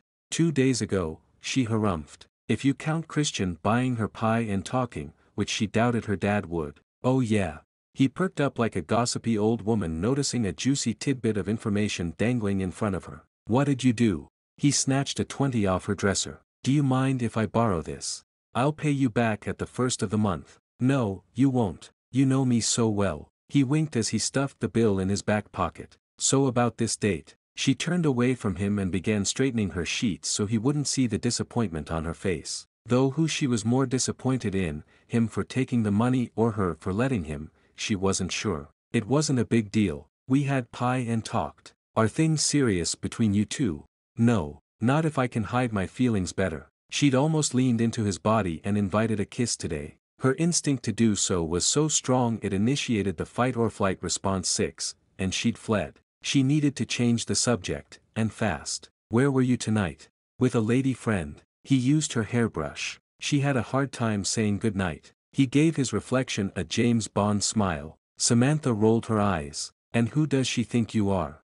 A private investor. Dad, she censured. Her stomach soured thinking of the poor woman he was working over. As far as she could tell, he didn't take more from them than a good time, but she wasn't sure where his money came from. For all she knew, he flattered them into paying for everything from dinners to new clothes. She couldn't bring herself to ask particulars. What?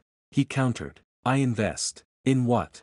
In you, the house. Anytime I buy a product, I'm investing in that company's success. Yep, better to not know. She pulled back the covers on the bed she just made and sat against the headboard. Dad stopped casing her room and plucked at the sweater she'd hung on the door for tomorrow. She also had a loose skirt picked out that hit her about mid-calf. The look was on trend, but she suddenly felt self-conscious about her decision. Perhaps because her dad's frown was so deep he could have tied his shoes with it. Do you like this guy you're seeing?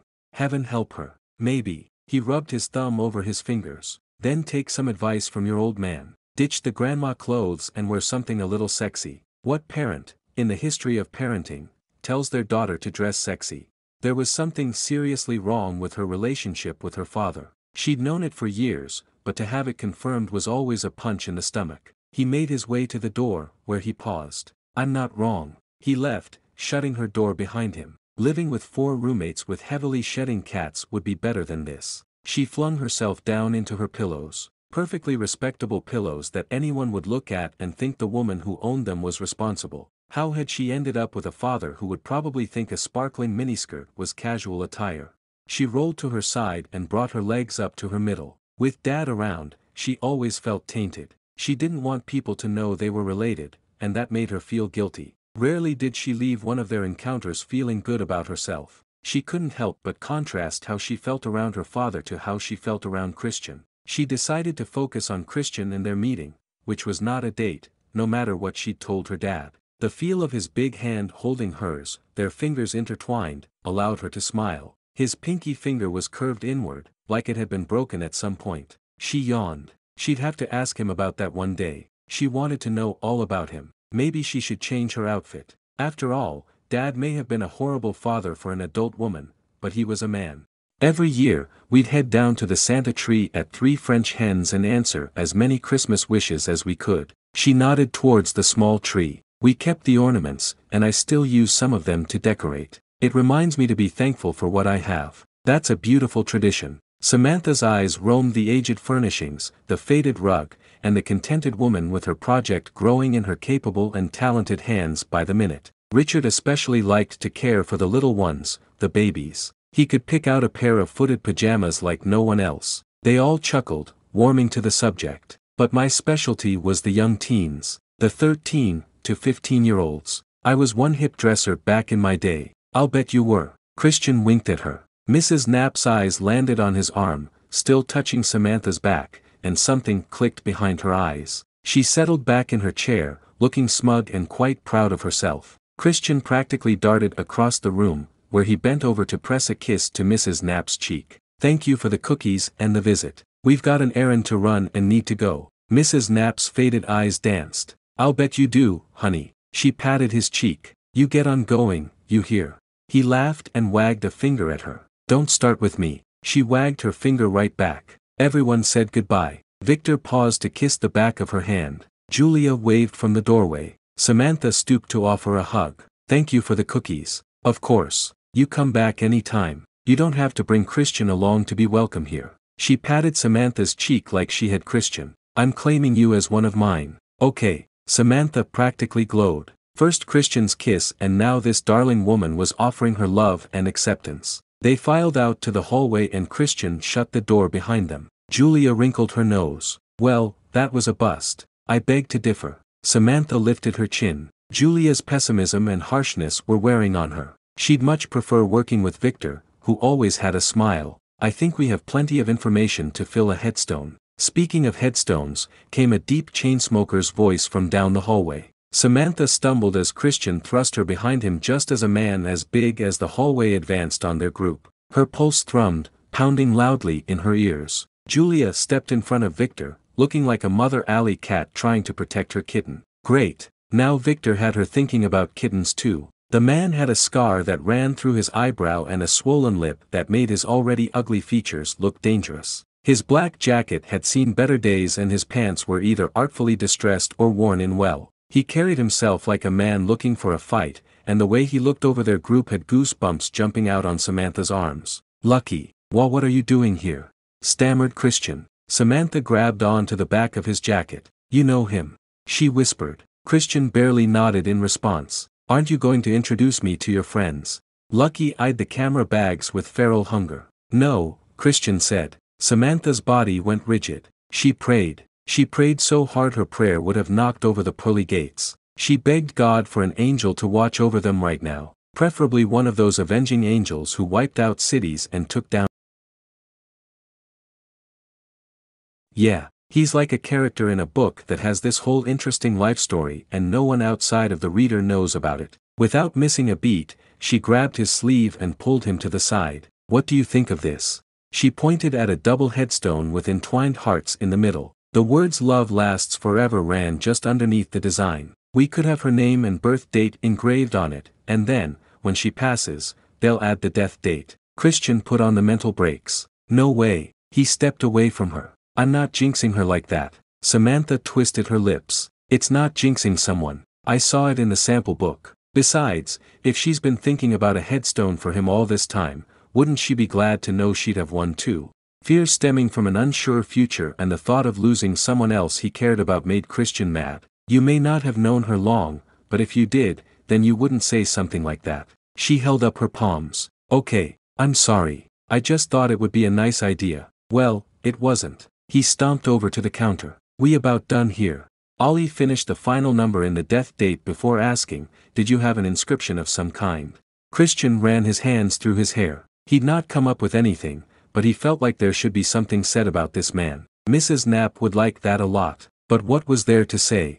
Samantha took the order pad and reached for another pencil stub. She wrote as she spoke. True love is bigger than heaven and earth. She turned the pad around and slid it back to Ollie. Ollie looked at Christian for confirmation. Chills swept over Christian and he closed his eyes, thinking of Mrs. Knapp and the way she talked about her husband, not as if he were still around, but like their love was going strong despite the vast distance between them. Yeah, I think that about covers it. They finished up and he pulled out the shiny Visa card to give Ollie a down payment. It would take a few days for the granite to arrive, and Ollie promised to call when he was done. The group headed for the door. Once on the sidewalk, they stopped to wrap up in their winter gear. Julia waved before disappearing in the crowds. She hadn't said much inside the stonecutter's place, which was odd for her. Christian figured Lucky's visit had cast a cloud over the group. Victor stared at the door for a minute. Working with you two is complicated. My heart. He pounded his fist against his chest. I have growing pains. Christian could empathize,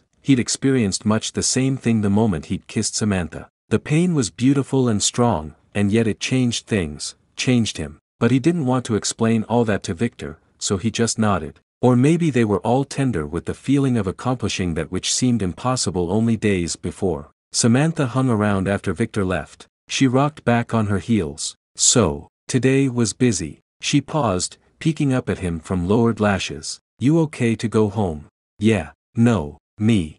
I'm fine. It's just six, that guy was kind of mean. He couldn't have her looking at him like he was the school nerd getting picked on by the football star. And he didn't want her pity, which was why he'd vowed to stay out of a relationship until his father's debts were paid. With the increase in payments, he should be done all that much faster, assuming Lucky put the extra money towards the principal. Winning the contest would make putting Lucky and his father's hidden addiction behind him for good. Collecting rent is a thankless job, he said, trying to smile. That was your landlord.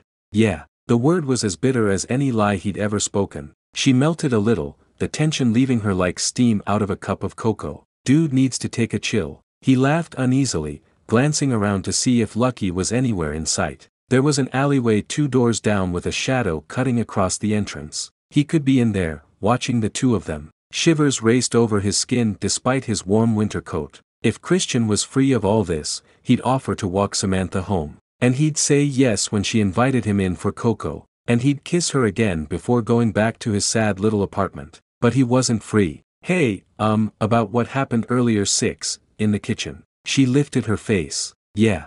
He mentally grabbed a hold of his heart to keep it from struggling against what he was about to say. I shouldn't have pushed myself on you like that. I hope we can still be friends and work on the contest together. Oh, sure. Her eyes went blank like she had no way to process what he'd just said. Then they came back online and she forced herself to relax. I mean, if that's what you want. He nodded, unable to actually say yes when he wanted to scream no. Okay, then, we're good. Pause. I guess I had better get going. Pause. You have a good night and I'll see you at work. Night. He gave her arm a squeeze and turned away, knowing he was turning his back on so much more than he dared admit. She wouldn't understand why he'd gone cold and could accuse him of being a dishonorable reprobate who steals kisses and then runs. He was a degenerate. The only hope he had was that Samantha didn't care for him as strongly as he cared for her. That to her, the kiss was all in holiday fun, flirting that had gone too far. Please, Lord, don't let her love me.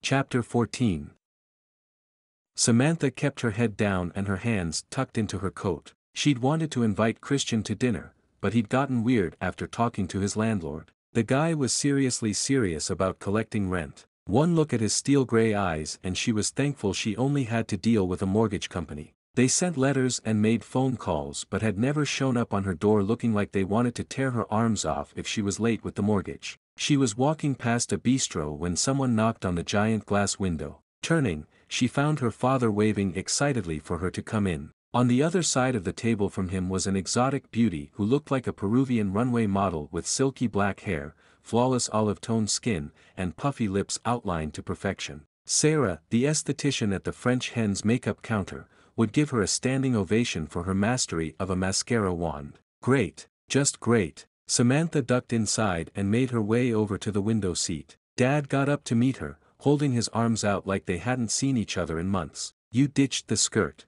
He hugged her close. You look wonderful. Fat lot of good it did me, she muttered. Dad ignored her grumbling and introduced her to Yvette, who did indeed have a sultry accent. He scooted his chair around and took one from the table next to them for Samantha. Oh, no, I don't want to interrupt your date. Dad placed a hand on Yvette's leg. Samantha had an important date today and I'd like to hear how it went. You don't mind, do you, babe? Yvette smiled warmly, lifting her glass of red wine. We're happy to have you, at least she was gracious. Some of the younger women dad dated saw Samantha as competition for dad's time and they were cold or downright nasty. Not having a direct out, Samantha sat but didn't take off her coat. Maybe for a minute. Dad settled his napkin across his lap and took a sip of something bubbly. How did it go? Samantha sighed. Figuring she didn't have anything to lose because dad would be out of the country again soon and she'd never see Yvette again, she said, I thought it was going well. We were connecting. Kissing?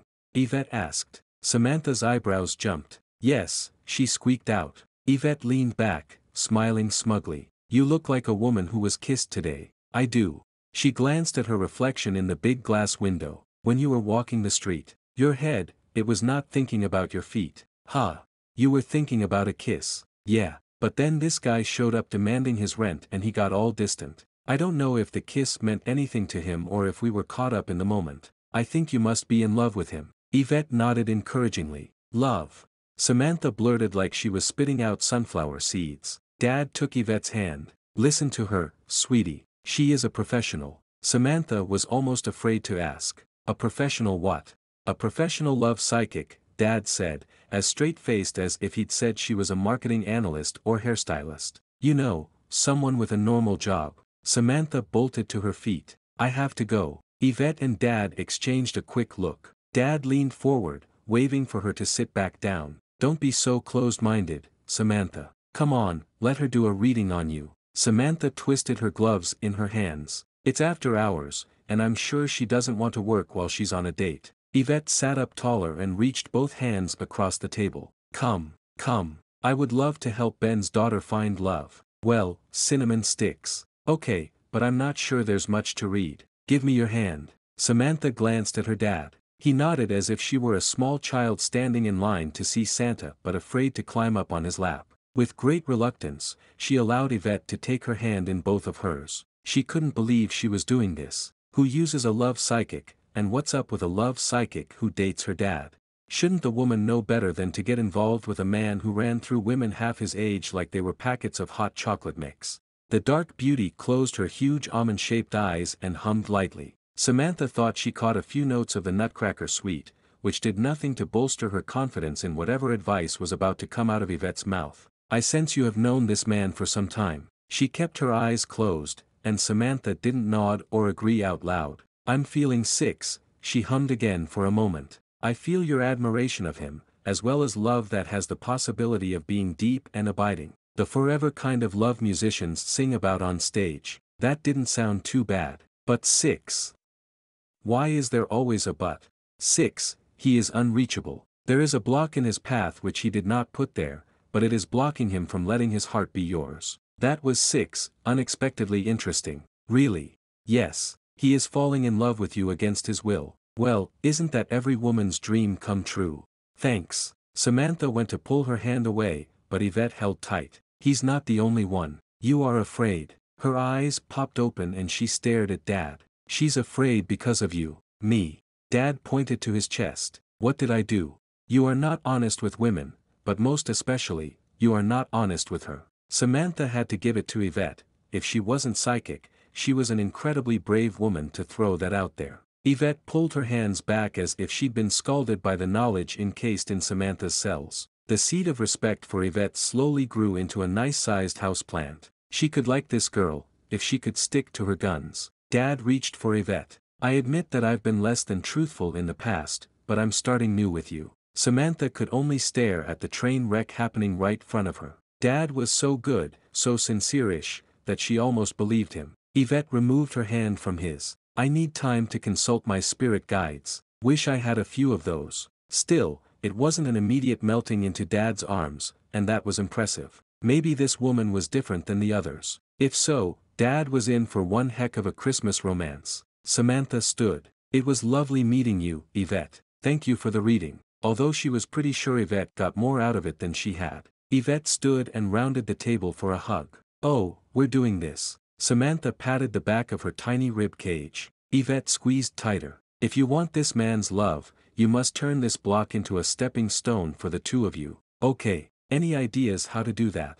Yvette rubbed her hands up and down Samantha's coat sleeves. Nothing is coming, but if I receive new information when I meditate, I'll get in touch with you. That would be great. She turned to her dad, who sat frowning in his seat. When his lips were turned down, it added ten years to his face and removed some of the polish. He didn't wear vulnerability well. Perhaps he really did like Yvette. Feeling bad for having ruined his relationship just by showing up, she leaned over and kissed his cheek. Good luck. You too. She made her way through the round tables and out to the busy sidewalk. Shoppers rushed along, their arms full of Christmas surprises and their mouths set in determination. Every so often she'd see a couple holding hands as they walked, their heads tilted toward one another. As cuckoo as Yvette's occupation appeared, the woman was pretty convincing. Although it wouldn't have taken much to convince Samantha that she was in love with Christian, the question was, what was she going to do about it? Samantha scowled. Thank you for laughing at my pain. Come on, Sam. He's not doing anything illegal. The comment hit a little too close to home, and Christian wished he could retract it immediately. The funny thing was, here was Samantha, embarrassed by her father's behavior, which was well within the law, though not the social norm, and then there was him, who would have loved to introduce his dad to everyone at work even though he participated in an illegal gambling ring. The world was upside down and backwards. Illegal, no, but mortifying, yes. Samantha ran her finger over the tabletop, tracing the false grain. He's good, too. He gets women who are stunningly beautiful to fall in love with him. I met his latest girlfriend the other night, and she was so pretty she could date an Avenger. What do they see in him? If he's anything like his daughter, then they see a kind, determined person with loads of confidence and more than her share of beautiful that draws people in, sometimes against their will. Samantha's dark lashes dropped. The room shrank until there was only enough space for the two of them. The temperature went up to a warm fireside glow, and Christian wondered if he'd said too much about his feelings to pull back. Sorry, that just sorta slipped out. It's okay, I just don't feel like I fit that description. But you're, Christian didn't get a chance to finish. Draws people in six, Samantha snatched up her phone and started typing. She spoke as she typed. Dear sir, thank you for getting back to me in a timely manner. I understand that you are not able to grant leave for Corporal Levitt. What if his wife and child came to him? Would they be allowed on base for a visit? She hit send and lifted her gaze from the screen to grin at him for a moment. As if realizing what they'd been talking about before her epiphany, she stood, tucked in her chair, and backed toward the door. I've got to call Victor and see if I can get in touch with Joni. I'll see you later. He lifted a hand in farewell, feeling like she was taking all the warmth out of the room with her. The area actually looked dimmer without her sunshine. He dropped his head to the tabletop. Her aloofness was for the best. He stayed there until his phone dinged. It was a group text message from Samantha to him, Victor, and Julia. Meet at the bakery on the corner tonight at 7. Big news. Victor sent a thumbs up. Julia sent an okay sign. He sent a smiley face and felt like a dork. Their conversation had been friendly enough. The old playful attitude between them had been restored. But something was missing. Well, not missing. It was still there. The attraction, the good feelings, the love. What was missing was the opportunity. He'd blown it big time. He was fooling himself to think he could be around Samantha and not love her. It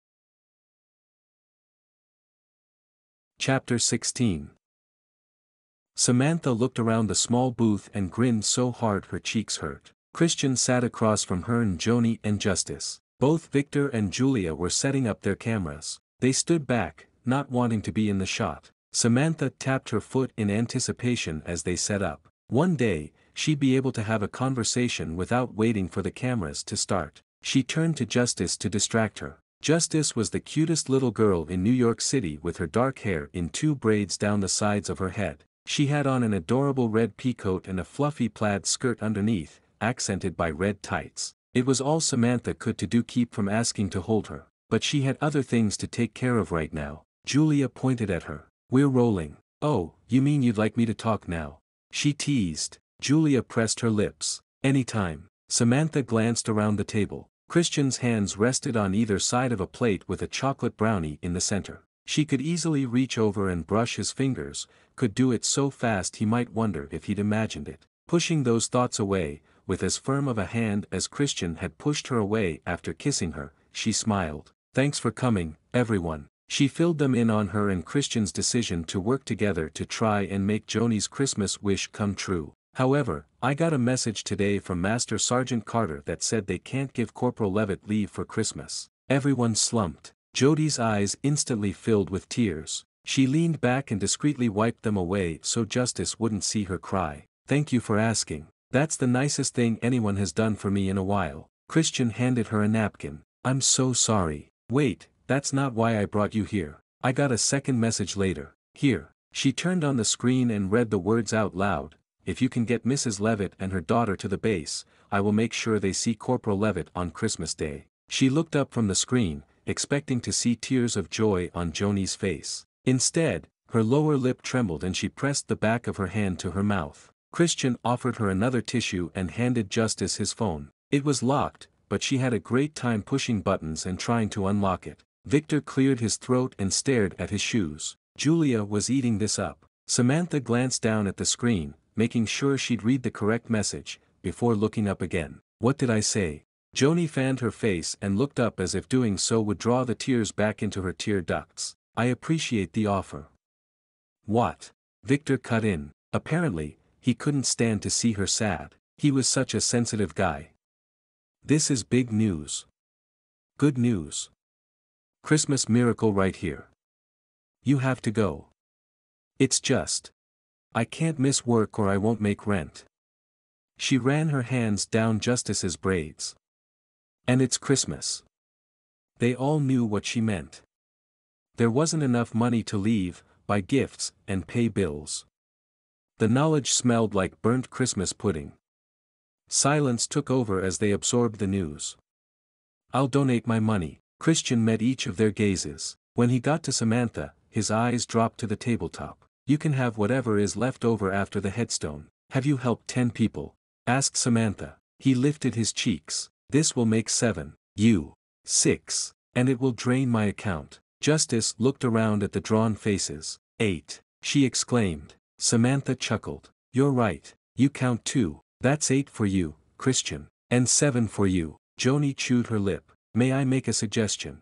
Please, she and Christian said at the same time, you could send care packages for the soldiers, or even checks. Money is tight all over this time of year. Then you'd help more than 10 people, Right. That works for me. Christian grinned. Samantha grabbed her phone and a small pad of paper from her purse, where she kept track of the money she'd spent. What do you two think? Samantha asked Victor and Julia. They stood to win a nice chunk of change if their videos won the most hearts. While they were talking, she added up some numbers. Victor scrunched up his face as he thought. Suddenly, all the muscles relaxed and he brightened. This is more important than money. He reached over and patted Justice on the head. Julia groaned. Bleeding hearts of the world unite, I'm in. Victor jerked back in surprise. You say yes. She glared. Yes. Don't make a big deal out of it, okay. He held his hands up in surrender. Okay. Samantha set her phone down. Guys, we have a slight problem. They all leaned forward, and it felt like the whole room was holding its breath. I'm afraid we're cutting it close. It's $2,000 for plane tickets. Hotel for four nights is $800. Plus food, plus ground transportation will take all of my money and then some. How much do you have left? She asked Christian. He frowned. I anonymously paid rent for a single mom on my floor this month. And I, uh, six. He dropped his gaze. I bought the double headstone. I have $800 left. Why? She blurted. He played with the paper cup in front of him, now empty of hot chocolate. You were right. Mrs. Knapp deserves a marker that she was here, is here. Samantha's heart melted. If only Christian could see what a great guy he was. Victor slapped him on the shoulder. You do right thing, man. Yeah, but now we won't have enough to cover this wish. Samantha tapped the end of the pen on her chin. Not to mention the gifts for the soldiers. Julia looked like she'd swallowed a frog. Ugh. Set up a GoFundMe account and ask for donations on your video. I could hug you. Samantha lifted one arm as if she were about to give that threatened hug. You do and I'll punch you. Everyone at the table laughed except Julia. When they settled, and the sense of possibility grabbed hold of them, Samantha felt a jolt. It's December 12th. She scrambled for her coat and purse. We have to get this video up today. Pointing at Christian, she said, You, go with Joni and pay whatever you have left on your card towards her rent. Get a receipt. He nodded and began helping Justice get her coat on while Joni gathered up the small toys she'd been playing with. They were on their way to the door as Samantha rounded on Victor. You, she pointed, find us a place to shoot this video. Something six, patriotic and Christmassy. Done. He bolted out the door, slinging his coat over his shoulders as he went. You, what? Julia demanded. Get ready to make people cry. I want tears and open hearts and open wallets, do you understand?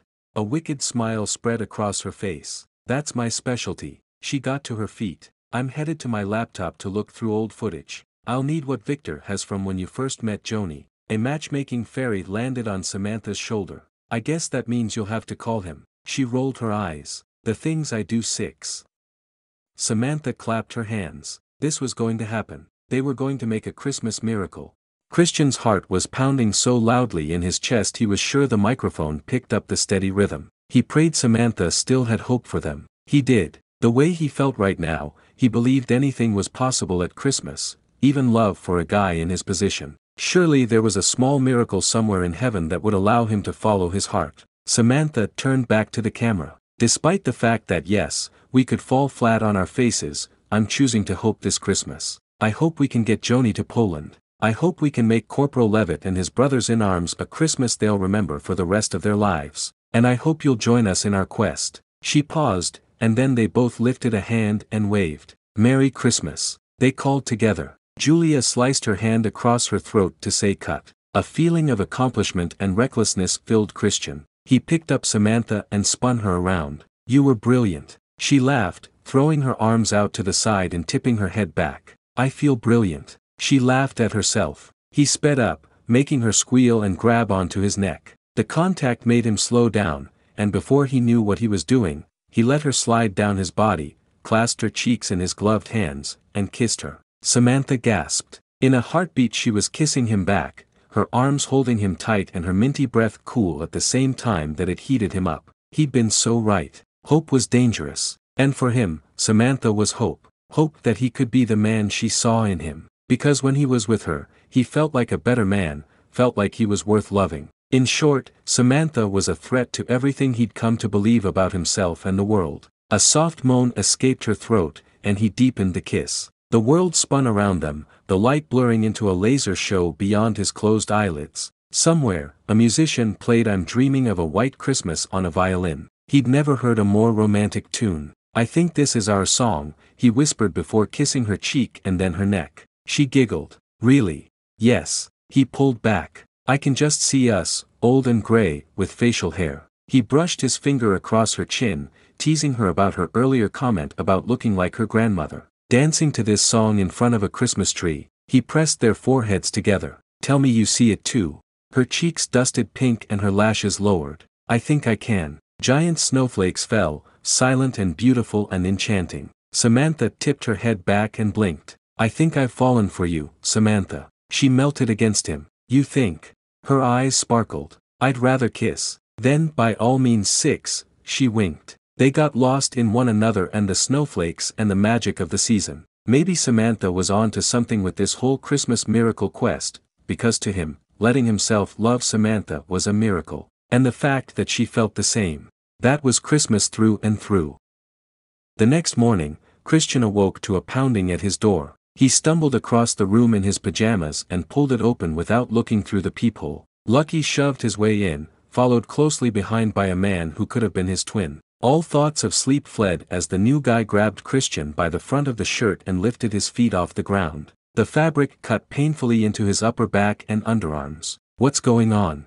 He croaked. You tell me. Lucky shoved his phone in front of Christian's nose. Christian leaned back in an effort to get his bleary eyes to focus. All he could make out was a picture of him and Samantha in front of the arch last night and a dollar sign. I can't see a darn thing. Lucky nodded to his buddy and Christian was dropped to the ground. He stumbled and almost grabbed onto the brute to get his balance, but the guy moved out of the way. Lucky decided to help out by cupping the back of his head and putting the camera in front of him, though not as close this time. Christian's heart sank. It was the GoFundMe account, and there was money in it. Donations were already rolling in. He reached for the phone and opened another browser, bringing up the channel. Sure enough, Julia had posted the video around 4 that morning. He let out a sigh. He hadn't even thought about covering his face or protecting his identity last night. The only thing on his mind was the Project 6, and Samantha. What do you want, Lucky? His tone was small and made him hate himself. He pushed to his feet and squared his shoulders. He wasn't the same guy they'd pushed around. Then again, he was still saving his money for the next payment, so. 6. That left him somewhere between wanting to protect this life and feeling like the devil may care. Lucky cracked his knuckles. I want my money. I already paid you this month. Lucky leaned in close enough that Christian could smell the onion bagel with cream cheese on his breath. I want all of it. Christian sputtered. I don't have $12,000. I'll be lucky to make the extra 500 each month. Lucky snatched his phone away. Seems to me that a resourceful man like you could get the money from someplace. He pointed to the screen, indicating that the GoFundMe account was a great place to collect the funds he needed. Your sweetheart would sure be sad if you didn't dance in front of the Christmas tree next year. Christian felt the blood drain from his face. It was an odd sensation, like someone had pulled the stopper and the warmth ran right out of his cheeks. How had Lucky known about the dancing in front of the tree comment? Had he been watching them? Leave her out of this. I wasn't the one who brought her into it. Lucky shrugged. Like I said, I want my money. I can't take the miracle money, Lucky. I'll go to jail. And what about the soldiers? Lucky's friend barked a laugh. Like we care about some army brats. You don't have to end up in jail, be creative. Christian shook his head at their lack of understanding. Had they no concept of the sacrifices the men and women of the armed forces made so that Lucky and his twin had the freedom to become criminals? Lucky's friend laid a huge hand on Christian's shoulder, pressing down hard and making it difficult for Christian to stay standing. He pushed against him, though, unwilling to bend on this one and refusing to be intimidated. If you kill me, then you won't get any money. But if I live, you are assured my monthly payments. I've never missed one. Ask Lucky. Lucky folded his arms. I'm tired of seeing you every month. Do you know how much effort it is to collect your payments?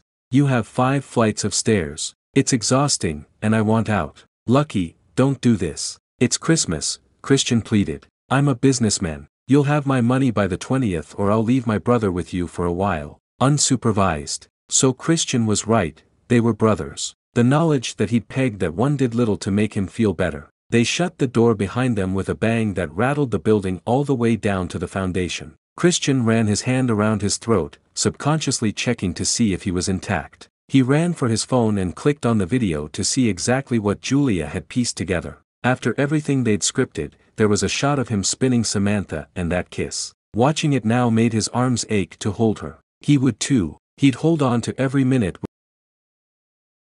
Samantha's heart sank. She couldn't tell Mr. Takashiro that Joni was trying to back out. And what would she say to the My Heart channel viewers? Thanks for the opening your heart, but no thanks.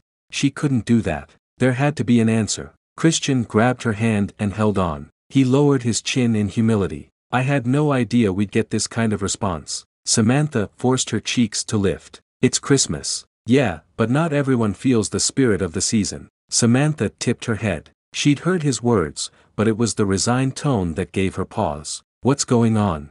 He lifted his chin off his chest, a practiced smile on his face. Nothing. We're good. Before Samantha could delve into that misty pool of uncertainty in Christian's gaze, Mr. Takashiro continued, We expect today will be one of our busiest yet. And you too will be popular. Don't let fame take you away from your duties, okay?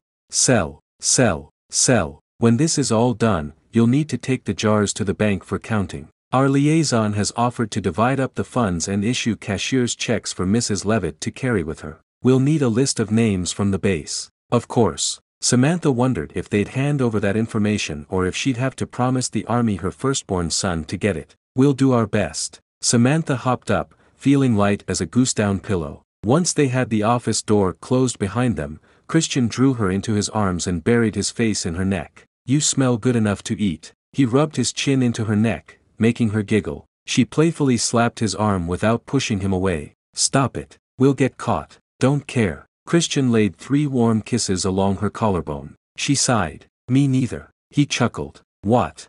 I honestly thought I'd have to be a little more convincing. She lifted a shoulder. You're worth taking a risk for. Ah. He hugged her close. Aren't you sweet? She leaned into him. You're not going to think so after I tell you about the phone call I got from Joni. He pulled back but kept his hands laced together behind her as she explained about Joni's sudden fear of leaving the country with her young daughter in tow. So she doesn't want to go? Christian asked in disbelief. I think she wants to, but she's scared. I'm going to look into finding her a guide or something. Christian nodded. Kay, let me know if there's anything I can do to help. I will. She kissed his cheek. Now let's get out there and meet these people who watch us on my heart channel. She laughed. I can't believe I just said that out loud. This whole thing is kind of surreal. I know what you mean. He pushed on the swinging door that led to the sales floor, and they headed to the women's department. Dozens of people milled about while another dozen actively looked through the clothing and jewelry. Samantha clocked in and then headed for the sweater display that had been rumpled. Aren't you that Santa woman? asked a lady with a bright red coat and black leather purse. I am. Samantha grabbed a sweater to fold to hide the shaking in her hands. Is there something I can help you find? Oh my, yes. She took Samantha's forearm between her two hands. I need a dress for my husband's company party. And I can't wait to tell everyone you helped me pick it out. Can I get a selfie to prove it? Samantha laughed. Let's find the dress and then we'll worry about the picture. The woman giggled. I'm putting the sleigh before the reindeer, aren't I? Samantha ushered her to the dress section and they picked several for her to try on. As she was hanging one of the not-so-perfect fit ones back up, another woman asked for help choosing a necklace to match a sweater set. Samantha went from one eager fan slash customer to another and was so busy she didn't have time to look for a guide for Joni. The weight of Joni wanting to pull out kept her from floating too high on the compliments viewers dished out. If Joni backed out, their whole reverse homecoming would fall down the chimney. She needed them to pull this off. Because, as she was quickly learning from excited customers, people were counting on this to make their Christmas, they were invested. She sent up a prayer that things would work out, and then did the only thing she could at the moment. Victor pulled his phone out with the speed of a quick-draw cowboy. He stepped away and was soon speaking in another language and gesturing with his hands. Julia watched him. She let out a schoolgirl sigh, which had Samantha pinching Christian's side again. She pressed her lips together, and Christian knew she was about to tease someone. Russian is such a romantic language, don't you think, Christian? She tipped her head towards Julia and did her best to repress the smile tugging at her lips. He grinned down at her. It's the most romantic language, if you ask me. Julia scowled at the two of them. Knock it off. They burst into laughter. Her indignation was a confession of sorts. Your children. She huffed and headed towards the perfume counter. We should start cleaning. Christian reluctantly let Samantha slip out of his arms. They went to the dress section first and almost had the display in order by the time Victor hung up the phone. He said he'll do it. Yes. Christian did a fist pump. Samantha's hands covered her mouth. Thank you. Thank your brother. Oleg, Victor reminded her. Thank Oleg. She threw her arms around Christian, kissed him soundly, and then jumped back out. I'm going to call Joni. She'll be so glad it's Victor's brother who will be there for her. With a squeal, she was dialing Joni's number. That was really cool of you. Christian clapped Victor on the back. My brother is a good man. He have Christmas in his heart. Victor made a fist and set it against his chest. Christian smiled and went back to hanging dresses. When he finished there, he started on the blouses. Samantha ran around in circles, picking things up as she talked to Joni. Her eyes were bright and beautiful, so animated with the joy of giving. Christian wanted to spend a lifetime with her. He wanted more time. While he couldn't be certain that Lucky would have him axed, he could end up not being able to walk or talk or type or provide for himself, let alone a family. He already sported a bent pinky from the last time he tried to tell Lucky no. The broken bone hadn't healed correctly because he hadn't gone to the doctor. He didn't have insurance at the time and had an EMT buddy splint it for him. And he'd been too scared to go to the police. He was so young, naive, really. His eyes fell on the coin jar. Just one jar and he could beg for some time. Time was all he wanted with Samantha. Life wasn't fair, giving him the perfect woman now. All it would take was one jar. Wasn't Samantha, wasn't love, worth it. It would be easy enough to pretend to combine two jars before taking them to the bank and stashing the other away. He took a picture of the jar and texted it to Lucky. I can't get all the money. Would this get me an extension? He held his breath as he waited for an answer. Bring the jar and we'll talk. He nodded his head while his stomach tied in knots. What choice did he have, really? He had to be here for and with Samantha, and he'd make the most out of every minute they had together. Chapter 20 The next morning, Samantha was headed to the bakery for a sweet shot of cinnamon roll to get the morning going when she bumped into Julia. Done. Julia held the door open while Samantha breezed through. What's done? Samantha removed her gloves and headed for the counter. She didn't have a lot of time before her shift started. If today was as busy as the rest of the week had been, she'd not get a moment off her feet. You wanted tears and open wallets. Julia leaned against the glass display case and checked the time on her phone. Countdown to posting. Five minutes. Samantha pointed to the largest cinnamon bun slathered in cream cheese frosting and asked the blue-haired clerk to heat it for her. He agreed, and she turned back to Julia. Is this the one with the company footage? Her fingers began to tingle. The sensation spread up her arms and coated her body. Yep. Julia blew on her fingernails and dusted them against her shoulder. It's true, this one almost made me cry, but did it make you want a kitten? Samantha joked. Julia's face turned red. Samantha grabbed her arm. Oh my gosh, you bought a kitten. Julia shook her off with a scowl. I bought it for Vic. Okay. Samantha bounced. That's the sweetest thing you could have ever done for him. Well, I'm not giving it to him until Christmas Eve, and the stupid thing ripped apart my drapes last night, so he better appreciate it. Samantha squealed, he's going to totally melt. Her order came up, and she and Julia grabbed a booth. Samantha tapped the My Heart channel app on her phone and closed out the Heart to Heart channel. She loved the relationship guru's advice, and now that she was in a relationship, she wanted all the advice she could get. It wasn't like her parents set a good example for her. Opening the Great Christmas Contest channel, she clicked on the latest video. The opening shot was of a large airplane and people milling about. They drew in on families hugging, lots of hugs and kisses could be seen. There was a shot of a little girl with wild hair, wearing footed pajamas holding a poster board as big as her. The poster read, Be safe. We'll miss you daddy. Samantha sucked in as if she'd been sucker punched by emotion so strong she couldn't hold them back. Her eyes stung and she had to blink several times to clear them so she could see the screen. A soldier in uniform squatted down in front of a three-year-old boy. Hey, buddy, I got you this bunny. He handed the kid the stuffed animal. Whenever you miss me, you hug that bunny and I'll feel it, okay. Samantha hit pause so she could wipe her eyes. You're killing me here. The regular bravado and confidence Julia wore like one of her black turtlenecks was gone. She swallowed thickly. These are the middle heartbreakers. I couldn't bring myself to put in the real hard goodbyes. There was one woman who was eight and a half months pregnant, and she was a mess. Her husband kissed her belly and whispered to his unborn child, I'll see you in six months. She brushed at her eyes. What these people give up, it's, it's made me soft, is what's it's done. Samantha laughed through her tears and put her hand on Julia's arm. Julia, I hope you know you have a gift. She glanced quickly away. It's harder when it touches my heart. But your heart is what makes this. She lifted her phone. so amazing. Victor saw your heart in your work long before the rest of us. Julia chewed her lip. It scares me how easily he sees right through me. Samantha nodded. I can understand that. Just don't chase him away because you're scared. Julia's mouth dropped open. I bought the man a kitten and sacrificed my drapes to it. I don't plan to send him away anytime soon. Good. Samantha refocused on the video and hit play. The screen changed from the goodbyes to the company's arrival on base. Soldiers unpacked their olive green army-issued bags. Commanders barked orders. Suddenly Corporal Levitt was on screen, his name written in block font across the bottom. He was setting up their engineering tent with a couple other soldiers. He made a face at the camera and then went back to work. The next shot was in the mess tent. The cameraman wasn't at all steady as he walked around the room. Guys were busy talking or on their phones. The camera stopped at a young man with red hair and freckles. What's your Christmas wish, Private Miller.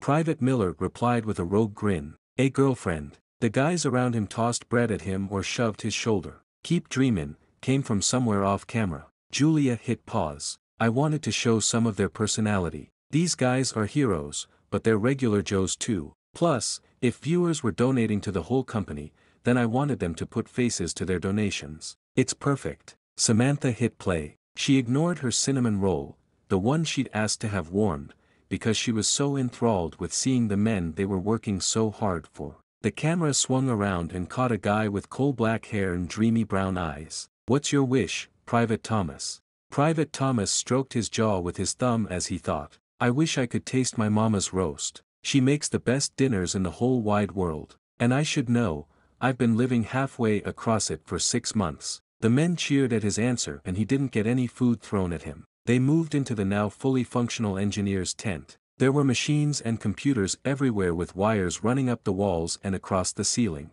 I wanted to show you what we're working on when Corporal Levitt isn't around. The unidentified soldier winked at the camera and lifted a tarp, revealing the skeleton of a sleigh. Corporal Levitt works in here, and he has no idea Santa has a surprise for him this Christmas. But we let everyone else on base in on the secret. He made his way over to one of the computer terminals. As you can see, just because it's the holidays doesn't mean we get a break. This is Specialist Baker. Specialist Baker stood at attention. How are we coming on Santa's special assignment? Excellent, sir. The secret is wrapped up tight, barked Baker. The officer got closer to Baker's face and the camera zoomed in. You look a little smug, Baker. Yes, sir. Corporal Levitt was bragging about how pretty his wife is, sir. He's missing her something fierce. I can't wait to drop this bomb on him. Just so long as the sand sleigh is ready by her arrival, we want her to arrive in style. It will be, sir. We're dedicating our off hours to the project. We wouldn't mess this up, sir. The officer clapped him on the back and turned quickly, but not before the viewer had the chance to see the moisture shining in his eyes. The dewiness was a sharp contrast to the chiseled lines on his face and his sharp movements. The base faded away, and on the screen was a notice of how viewers could join with the soldiers in helping Santa complete his secret mission. Samantha used a paper napkin to wipe her cheeks. Julia's video stirred a desire in her to do more than she was doing and gave her the oomph to push through the day ahead. That was six, amazing. She laughed at herself. I won't be able to watch it without crying, ever. I'll bet Joni is an emotional mess. I'll have to call her. Julia put out her hand. I'll do it. What? I'll call her. I have some more footage she might like to see, and I'm putting together a montage for the families that she said she'd post to Facebook. Samantha stared at her. She waved her hand in front of Julia's face. Okay, who are you and what have you done with the woman who put a sticky note on Christian's face? Julia laughed as she gathered her feet beneath her. I'd do that again in a heartbeat. I've got to run. Thank you, Samantha called to her back. Julia waved from the door and was gone. She tapped her fingernail on the tabletop. That was one Christmas miracle she hadn't seen coming. His fear of Lucky disappeared. Lucky couldn't do anything that would take away his reward in heaven. If he was meant to meet God this Christmas, then he would be in the arms of his Savior and at peace. He slowly sat up, amazed at the lightness that practically floated him to his feet. With slow, measured movements, he replaced the lid on the package and shoved it back under the tree. Then, he picked up the real jar, not feeling the weight of it either, and made his way to the door. Grabbing the container he'd left on the counter, he pushed his way through the door and almost bumped into Samantha. Where've you been? Christian looked back at the break room door. The room wasn't anything stunning or particularly spiritual, and yet he'd had the most spiritual moment of his life in there. I was six. Mr. Takashiro opened the back door. You too, come on. The driver's getting antsy. Christian glanced over his shoulder one more time as he made his way to the parking lot. Samantha must have carried the other three containers out while he was deciding his salvation. He handed both jars up into the truck and stepped back, wrapping his arms around Samantha from behind. We'll meet you guys at the bank. The security company didn't allow them to ride in the truck, and Mr. Takashiro had offered to drive them over. The doors clanged shut, a final sound.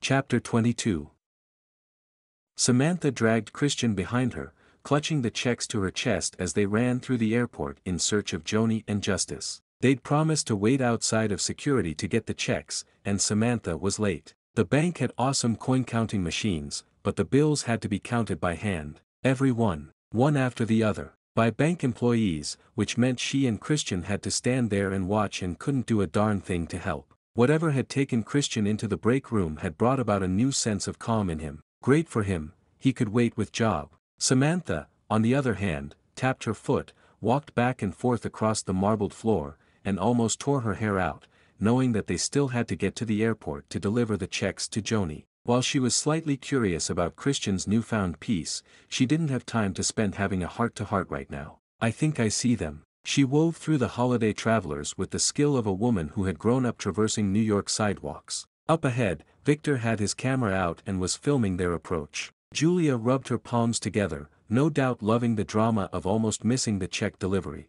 Joni opened her arms and Samantha fell into them for a happy hug. This was it. This was the moment she had to let it all go and trust in God that her plan would work. She hugged tighter before letting Joni loose. Christian knelt down so he could be on Justice's level and fist bumped the little girl. Justice's hair was in pigtail braids and she had on a miniature backpack. Samantha ached to have a little girl of her own just as adorable as this one. A girl who had Christian's blue eyes and his impish smile. Christian had been weird about touching the checks, insisting she carry them. When she'd thrust half the stack his direction, he threw his hands up and backed away. It's your project. You take them. She'd been forced to find an alternative. I wrapped the checks in this ugly scarf. Samantha handed over the silk-wrapped package. The scarf was Santa red with elves in purple, blue, and green. She'd grabbed it off the coat rack at the bank after verifying that it had hung there for over a month and no one claimed it. The stack of checks barely fit in her hand. She hadn't dared put them in envelopes for fear she wouldn't be able to carry them. Joni tucked them into her purse and zipped it shut.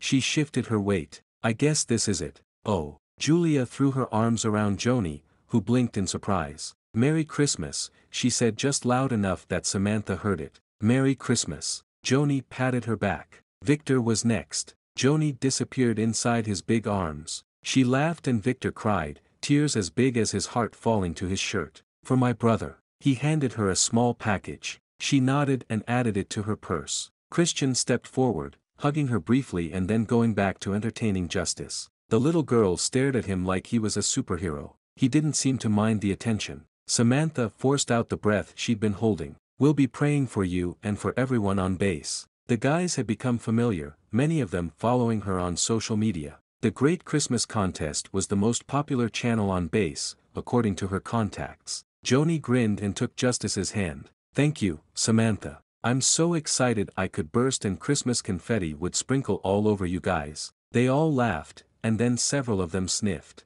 Thank you, Joni, for being brave. You made my Christmas. Samantha meant every word. Joni had given her a purpose, something bigger than her own problems. In making someone else's Christmas wish come true, she'd had the best Christmas of her life. They all said goodbye, and Joni took Justice to the security checkpoint. Christian slipped his arm around Samantha's back and she rested her head on his chest as they watched the pair head off on a holiday they would never forget. A loud sob broke out and Julia buried her face in Victor's neck. Shocked at first, Victor didn't respond quickly, but when he did, his movements were gentle. I'm sorry, Julia gasped. I've been holding this in for weeks and I just, she pantomimed a bomb going off. It's okay. Victor ran his hand down the back of her head. You are a strong woman. You have strong emotions. Oh, shut up. She smacked his chest and then threw her arms around his neck. With determination, she kissed him. Victor smiled so wide, it broke the kiss, but Julia kept her focus. Samantha glanced at Christian. As if their minds were in sync, they took one giant step backwards and then another before turning around and melting into the crowd. It wasn't like the new couple had much privacy, but at least they didn't have people they knew staring at them. Christian took her hand. Do you think the bakery is still open? They have extended holiday hours. Perfect. There's something I need to tell you. Samantha let out a contented sigh. It was the kind of sigh that came from a job well done and knowing that your future is worth looking forward to. With Christian by her side, she was more than content, she was full of possibilities. Nothing could compare to this moment, not even Christmas morning. She may not even come off this high until after the new year. Chapter 23 Christian took a sip of his cocoa, letting the warm liquid soothe his throat. He'd been talking for over a half hour, explaining about his dad's addiction, dropping out of school, lucky, and the choice he'd made in the break room. Putting all that into words was more difficult than he'd expected, but it also freed him in a way he hadn't anticipated. Throughout his long story, Samantha had sat frozen in her seat, steam rising from her cocoa mug and the chocolate cake growing stale in the forced air heating. So he's out there. She pointed to the dark window, where they could hardly see the people passing close by, let alone anyone five feet away. Snow swirled about, tiny flakes that bit at your nose. Looking for you. Probably. There was no probably about it, but he didn't want to frighten her. He knows where you live. He does. Then you can't go home. He lifted a shoulder. I'll need to eventually. I can't avoid him forever. But that's not fair. He's changed the rules. He can't do that. Christian took her ice-cold hands in his. It's okay, Samantha. She threw his hands off of hers. No, it's not. You don't get it. I'm in love with you, Christian. And I'm not going to lose you. Sam, there's nothing we can do. I'm at his mercy. And he has none. She picked up his hand and traced her fingers along his bent pinky. I'm just sick. I thought you got this as a kid falling off your bike or something. She shuddered even though she was the one tracing her fingers across his skin. You should be a doctor. They fell silent, each one contemplating the tabletop. Come home with me, just for tonight. I can't let you go alone. We need more time to figure this out. The longer I make him wait, the worse it will be. Samantha slammed her hands on the table. Dang it, you're a stubborn fool. She slung her purse over her shoulder and took off out the door. Samantha walked fast and the snow stung her eyes and her cheeks. The tears came hot and fast before falling cold to her jacket. How could Christian be so cavalier about her feelings? Thrusting them aside like day-old donuts, she rubbed her forehead. So many things made sense that her head spun as it threw pieces of the puzzle into place. Christian's low-key lifestyle, the way he lived like he was afraid to enjoy life. Well, He'd done that up until the contest started. No, it was when they joined forces that he really came alive. She should call the police. She should, despite Christian's warning not to. He said it would only make Lucky mad and that Lucky would get to him long before the police had a chance to look into the case. He was so calm about the whole thing, it made her want to spit nails. Her legs chewed up the sidewalk. She bumped into a man and he grabbed her upper arms to steady her. Sorry, she mumbled. When she tried to go around him, he didn't let her go. Looking up, she found herself in Lucky's arms. Her heart stuttered to a stop and her voice caught in a web of fear in her throat. Hello, pretty lady. He stroked his hand down her brown hair. You're going in the wrong direction. I.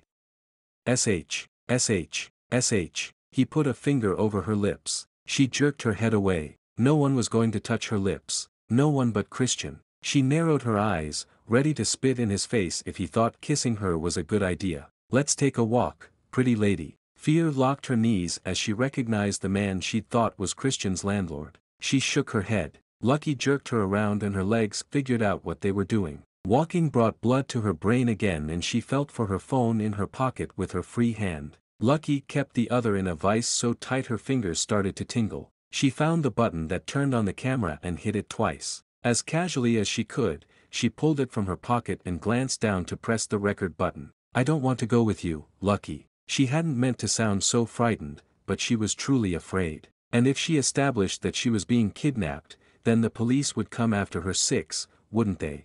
Too bad. I need an incentive for your friend. What friend?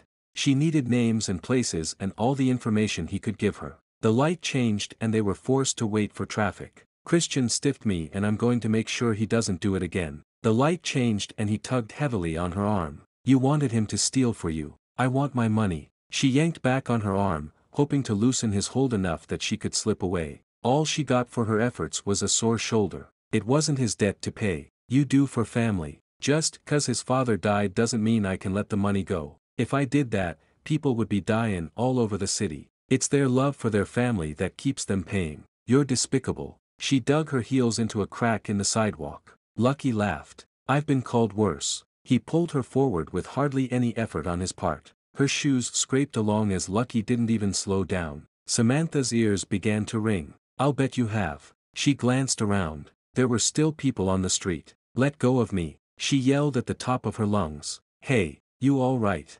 A guy called to her. He was weaving closer. Samantha's heart leapt with hope. Lucky leaned closer. Either you come with me or I send Christian to spend some quality time with his father. A trickle of sweat ran down Samantha's back, hot and cold at the same time. The hard glint of silver in Lucky's eyes witnessed to his determination to follow through on his threat. He let go of her arm, daring her to run. Hey, are you okay? The stranger took her free hand, the one with the phone. So far, Lucky hadn't seen it. Or, if he had, he didn't think about it. She yanked herself away from him. I'm fine. Why do you ask?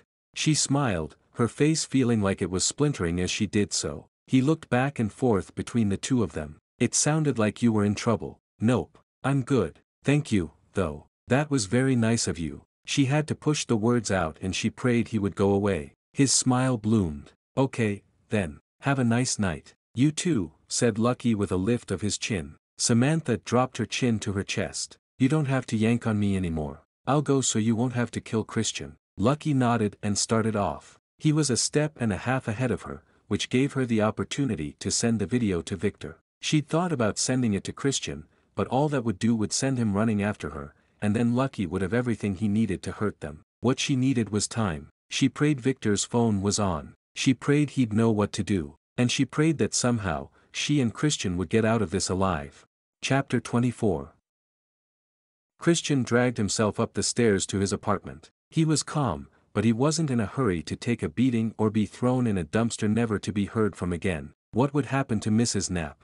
Who would change her light bulbs? He fingered her doorknob on his way down the hall. She'd had a cold and been laid up for several days. He'd taken her chicken soup from the deli down the street yesterday. It was strange to think that he may never get the chance to ask her if she enjoyed it. His door loomed, and Lucky was nowhere in sight. He should put on some Christmas music and a kettle and just plan on staying awake tonight. It wasn't like he'd sleep well even if he tried. Samantha had every right to be mad at him. He went and fell in love with her when he should have known better. The last week was the best week of his life, and if he lived 12 hours or 12 years, he'd hold on to the feel of her in his arms. She was his happy place, and he hated that her last words to him were said in anger. His key turned too easily in the lock. He pushed the door open and stayed in the hallway, peering in. The blinds were open, letting the yellow streetlight into the room. There was an odd-shaped lump on his couch. Like a cornered stray in the alley, he felt brave enough to face his foe head-on. Evening,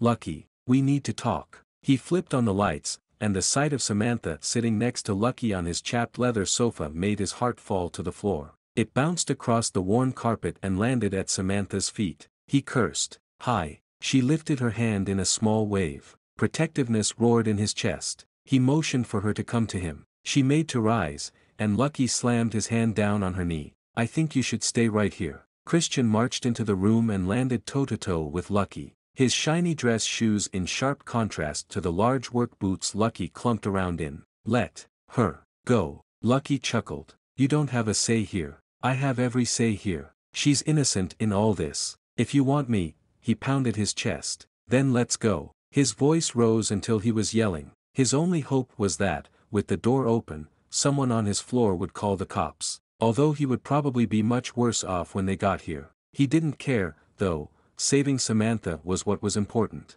Lucky slowly got to his feet. His huge fists swung like rocks. Christian stepped back, putting distance between them. He motioned for Samantha to make a run for it. Get out of here, Sam. She shook her head. I can't leave you here. Lucky laughed. What a pair. You know, it's a good thing she's here, because if you don't make it through the night, then she'll have to pick up your payments. Christian roared and slammed his fist into Lucky's nose. He heard something squish and felt a pop beneath his knuckles. The triumph didn't last long as his hand screamed in pain. He glanced down to see blood oozing from a cut and his middle finger cocked in a crazy position. He'd broken his hand on Lucky's face. He looked up. Lucky's nose was bleeding. While that was satisfying, Christian didn't think he could throw another punch. Lucky raised his fist, his eyes hard. Samantha jumped, grabbing his elbow. I've got video of you kidnapping me. If you hit him, you'll be charged with battery too, that's federal prison. Lucky dropped his arms so suddenly that Samantha landed on the floor in a heap. He kicked her hip. What are you talking about? She scrambled back, climbing up the couch like a crab. I videoed you kidnapping me and sent it to my cameraman. He'll upload it to my heart channel any second now. She glanced at Christian, and he saw the hollow spot behind her threat. She was bluffing, but it was a darn good bluff and he'd run with it. You've been extorting Christian for years. You should be in jail for that alone. She slowly got to her feet. But if you lay one finger on him, I'll make sure you spend the rest of your life behind bars. Lucky looked back and forth between the two of them. You can't testify if you're dead. Then you'll rot in jail for murder. He lifted a shoulder. They'll have to catch me first. He lunged for Christian with surprising speed, catching him around the neck. Samantha screamed. Run, Sam. Christian forced the words through his restricted windpipe. Samantha screamed again. She pounded on Lucky's shoulder, who squeezed harder in response. The edges of Christian's vision darkened. There was pressure in his face and behind his eyes as he clawed at Lucky's hands. Something hit Lucky in the head and grazed off Christian's crown. He didn't even feel it hit, only noticed the pieces of glass sprinkling down like fallen Christmas stars. Christmas. It was Christmas. As the darkness closed in, he felt warm all over, the pressure released, and all there was was peace. He floated in the darkness. Samantha watched Christian go slack and slither to the floor. Her heart screamed, but her mouth couldn't make a sound. Lucky checked his forehead, where a large piece of glass stuck out. Blood gushed down his face. Christian coughed and wheezed. He was alive. She could have kissed him if she wasn't facing off with a man who wished her dead. Lucky's arms waved above his head, and she had the oddest mental association with the abominable snowman in the old Rudolph movie who had a toothache. She stared in horror at what she'd done. The picture frame was the only thing on the side table, and she'd smashed it over Lucky's head when her fists didn't have the desired effect. Blood trailed down his face and pooled on his shirt. Lucky took a step toward her and she took a step back. Hands in the air. Barked a cop as he ran into the room, wearing a plastic face guard and with his gun drawn. Right behind him came three more police officers, each armed. Lucky looked around, his eyes wide, trying to find an escape. You can always jump out the window. Samantha glared at him. He lunged for her, but she jumped onto the bed to get out of his reach. One of the cops shot his taser and the next thing she knew, Lucky was convulsing on the floor. It was an awful sight with all the blood on his face and drool foaming around his mouth. She scrambled over the bed and made her way to Christian, who blinked. He lightly touched his throat. Don't talk, she told him. With much effort, she and an officer managed to scoot him out of the way while Lucky was escorted out the door. She sat behind Christian, her back to the wall and his torso lying against her. His head leaned back on her shoulder and she ran her fingers through his hair in an effort to comfort him. Don't talk, okay. She kissed his temple. The police will call an ambulance for you. It's going to be all right. She kissed him again, unable to stop from touching him to make sure he was still here, that he was in her arms and breathing. She splayed her hands across his chest. He was breathing, but his body was tense with pain. An officer squatted in front of the two of them. Miss Noel. Samantha nodded. We need to get a statement, and I have to confiscate your phone with the video. She nodded and handed over her phone. It's all on there. His radio crackled. Copy that. He looked at Christian. Paramedics are on their way. Christian nodded. He reached an arm up and back, cupping the back of Samantha's head and bringing her ear to his cheek. Love you, he whispered. The sound was hollow and raspy, but the words brought tears to her eyes. I love you too. Sorry, but Victor and I have work to do. Julia busied herself taking down cameras. Victor wiped his cheeks off with a sheepish smile. I will call other taxi. Christian and Samantha helped Mrs. Knapp to her feet and back to the cab. It's a good thing we have the late shift, Samantha laughed. I could use a nap. She leaned her head back on his shoulder. Tomorrow's the meeting. They'd have to meet and discuss the results of the great Christmas contest with the other contestants, and they'd learn who would become the new owner of French hens. I haven't checked the hearts on anybody's videos in over a week. She yawned. I wonder who will win. He shrugged. It didn't matter anymore. He tipped her chin up so he could see into her lustrous brown eyes. I won. He pressed his lips to hers, and this time. Chapter 26 Late in the day on December 23, the contestants of the Great Christmas Contest sat around the table. None of them made eye contact, except Samantha and Christian, who could hardly keep their eyes off each other. For Samantha, the meeting was a formality, a chance to congratulate the winner before going back to her life. Her not-so-normal life. In her normal life, she didn't meet with the police on a daily basis, didn't sign autographs, and didn't cuddle up with Christian to watch movies. The video of Mrs. Knapp released the day before and had gone viral. A headstone for Christmas wasn't a normal gift, but it had touched the hearts of America, perhaps because people wanted to believe that kind of love is out there. For Samantha, that kind of love was sitting next to her. Christian leaned over. Did Joni text? She couldn't hold back her grin. They're sleeping a lot today, jet lag. He nodded and then went quiet again. Next to Christian was Chloe. Her black hair curled beautifully and gathered to one side of her face. With a quiet sweep of her hand, she brushed her fingers over her necklace. Miller was next to her at the foot of the table. A trickle of sweat ran down the side of his face. He didn't clear it off, almost as if he were thinking so hard he didn't notice it was there. Across from them, a woman checked the time on her phone. She tapped her long, fake nails on the wood with a click-click-clack sound, over and over again. Just when Samantha thought the silence would suffocate them all, Mrs. Woolbridge swept into the room, followed by no less than three lawyers and her trusty store manager, Mr. Takashiro. All right. She clapped her hands together as if gathering the attention of a schoolroom full of children. She didn't need to, they were all silently waiting. Only Samantha and Christian sat back in their chairs, relaxed. They'd talked at length about what they wanted to do after the contest.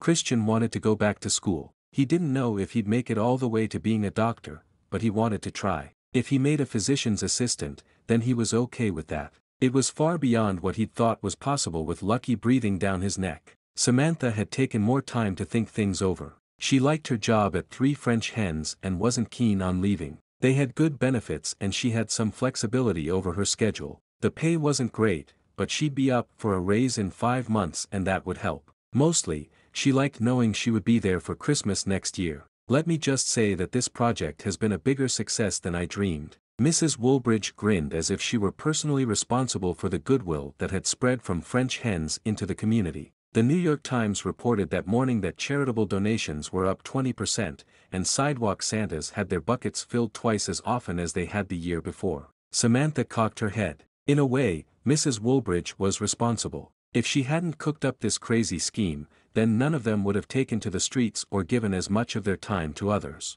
Samantha wouldn't have. For that reason, she was thankful she'd been chosen as one of the contestants. The lawyers, she flicked her hands at the suits lined up by the door. Have compiled the lists, and I've personally reviewed each of your videos. She paused, and her woman-in-charge facade melted away. I was truly touched. Thank you for making this a meaningful experience for myself and the people you donated to. She met each of their gazes, nodding her thanks. Okay, let's make this as painless as possible. Miller, you are now the owner of three French hens. She lifted her hands and clapped. Their competitor leaned forward, spreading her fingers out wide on the tabletop. Hold up, him.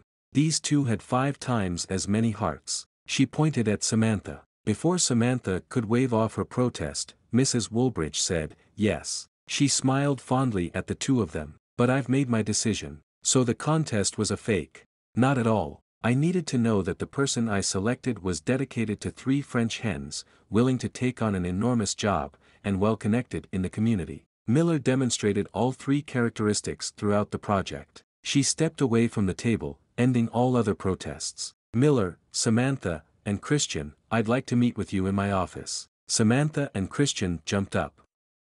They filed into the executive office, and Mrs. Woolbridge wasted no time. Here's the key to the building. She handed Miller a golden key. Samantha wondered if that really was the key or if it was a prop. For a prop, it was impressive. Now, until we sign those papers, I'm still the owner of three French hens, and I am going to start a new program. The Giving Tree is wonderful, but I'd like to do something like what Samantha did this year. She paused and put her hand on Samantha's arm. I can't wait for the video on Christmas Day, dear. Is everything all set? Samantha nodded. I don't know who is more excited, Joni or the troops. Or me. Mrs. Woolbridge released her arm and gave her a critical eye. Do you think you could pull this off again next year? Samantha's heart jumped up and down. She immediately pictured another reverse homecoming, with a whole new group of soldiers. Her mind spun with ideas. Three French hens customers had come through to send love to troops overseas, and she knew they would again. With 12 months to plan it out. Piece of cake. Good. I'm promoting you to head of Christmas giving. Samantha stumbled into Christian, who wrapped his arms around her. Seriously.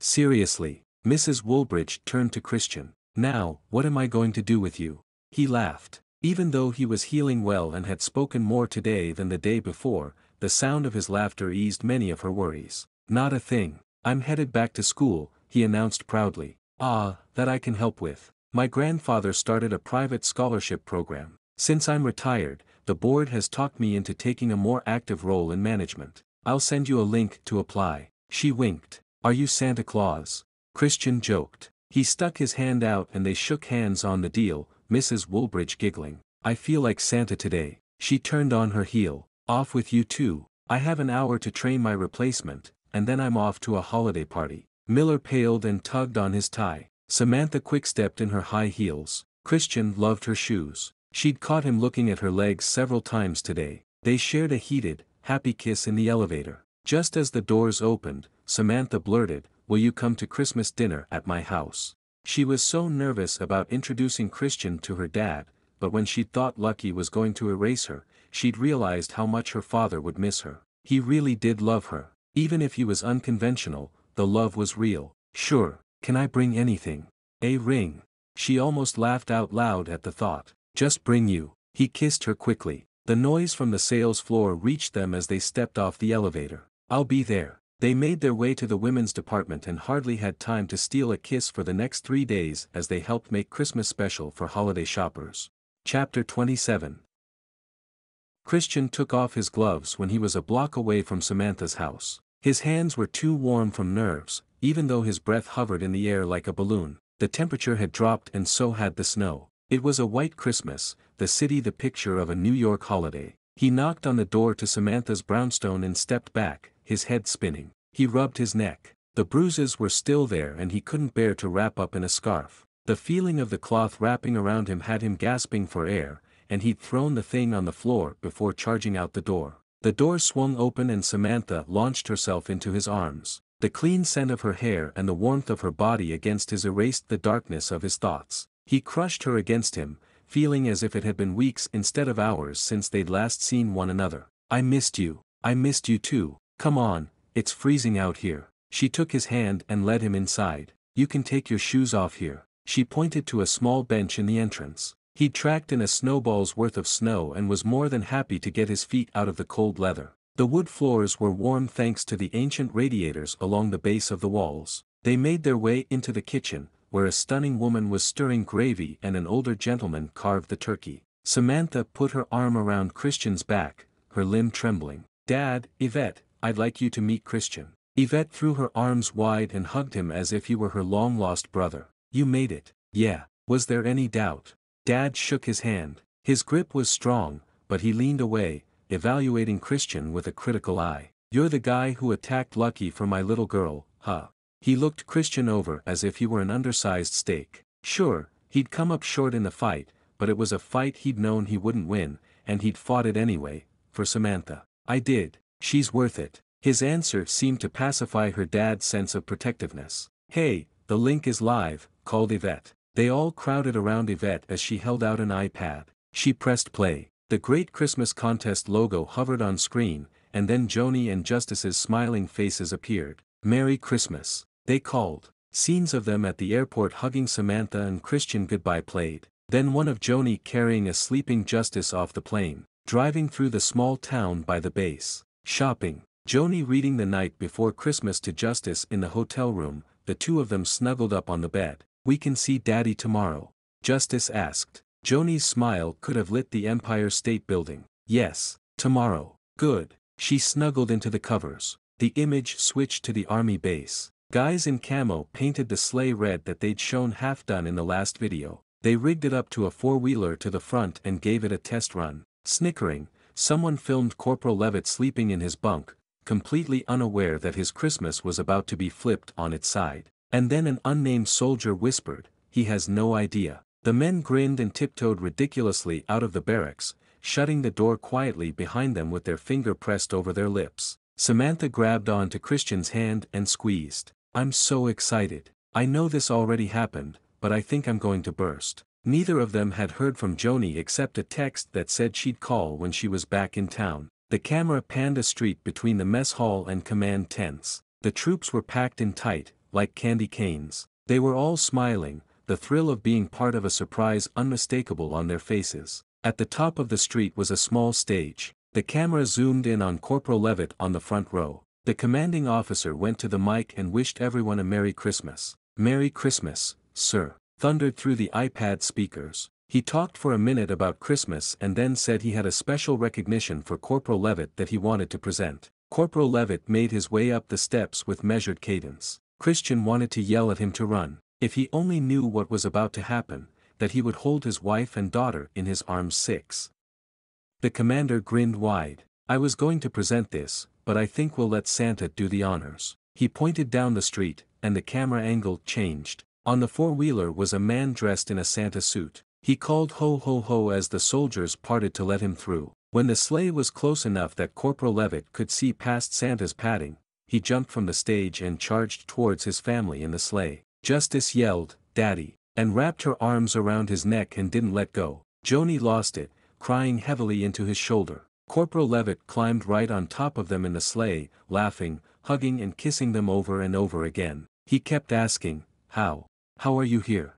Joni sucked in a breath, swallowed her emotion, and said, We got a Christmas wish. Corporal Levitt kissed her and kissed her and kissed her. Behind them, hardened soldiers wiped their eyes and sniffled like children. Santa pulled the sleigh forward and encouraged them all to climb up on stage. Joni had a small red sack over her shoulder. Quite the step up from the ugly scarf Samantha grabbed at the bank. Oleg must have gotten that for her, said Samantha. Christian agreed. Joni shook hands with the commanding officer and they exchanged a few words. Corporal Levitt had one arm around her and Justice in the other. She stepped up to the microphone, laughed in pure joy, she said, thank you. She blew them all a kiss, and they erupted in applause. Corporal Levitt asked, they knew.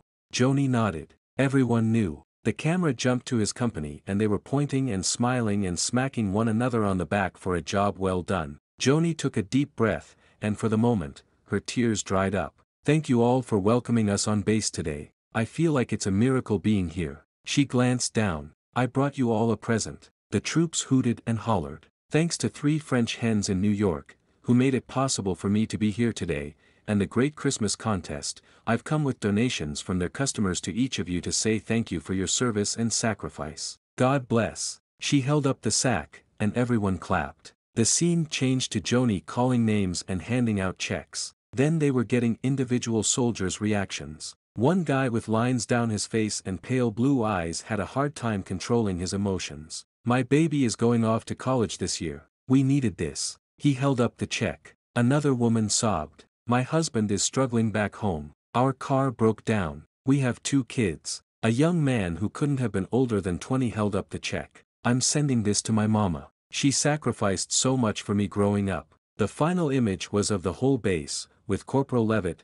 Joni, and Justice in front, waving goodbye. Merry Christmas. Samantha swiped at her cheeks. I think my tear ducts are completely empty. Yvette patted her arm. Mine too. Christian had been so nervous on the way over, but all that went away as he watched the video. Samantha had done that, she'd made Christmas special for over 300 people in Poland. He'd never find a better woman. He took a step back and went down on one knee. Samantha gasped. Yvette stepped in front of Dad and grabbed both his arms, wrapping them around her. Christian reached into his shirt pocket and pulled out the engagement ring. It was a sprig of holly made from emeralds and rubies. He had put a fancier diamond set on layaway and would have it by Easter. Samantha Noel, you are everything that's wonderful about Christmas. Working beside you the last few years has been my source of light, and loving you these last few weeks has been my joy. Will you marry me? Yes. She clasped his cheeks and kissed him. He felt her tears on his face and pulled back. I thought your tear ducts were empty.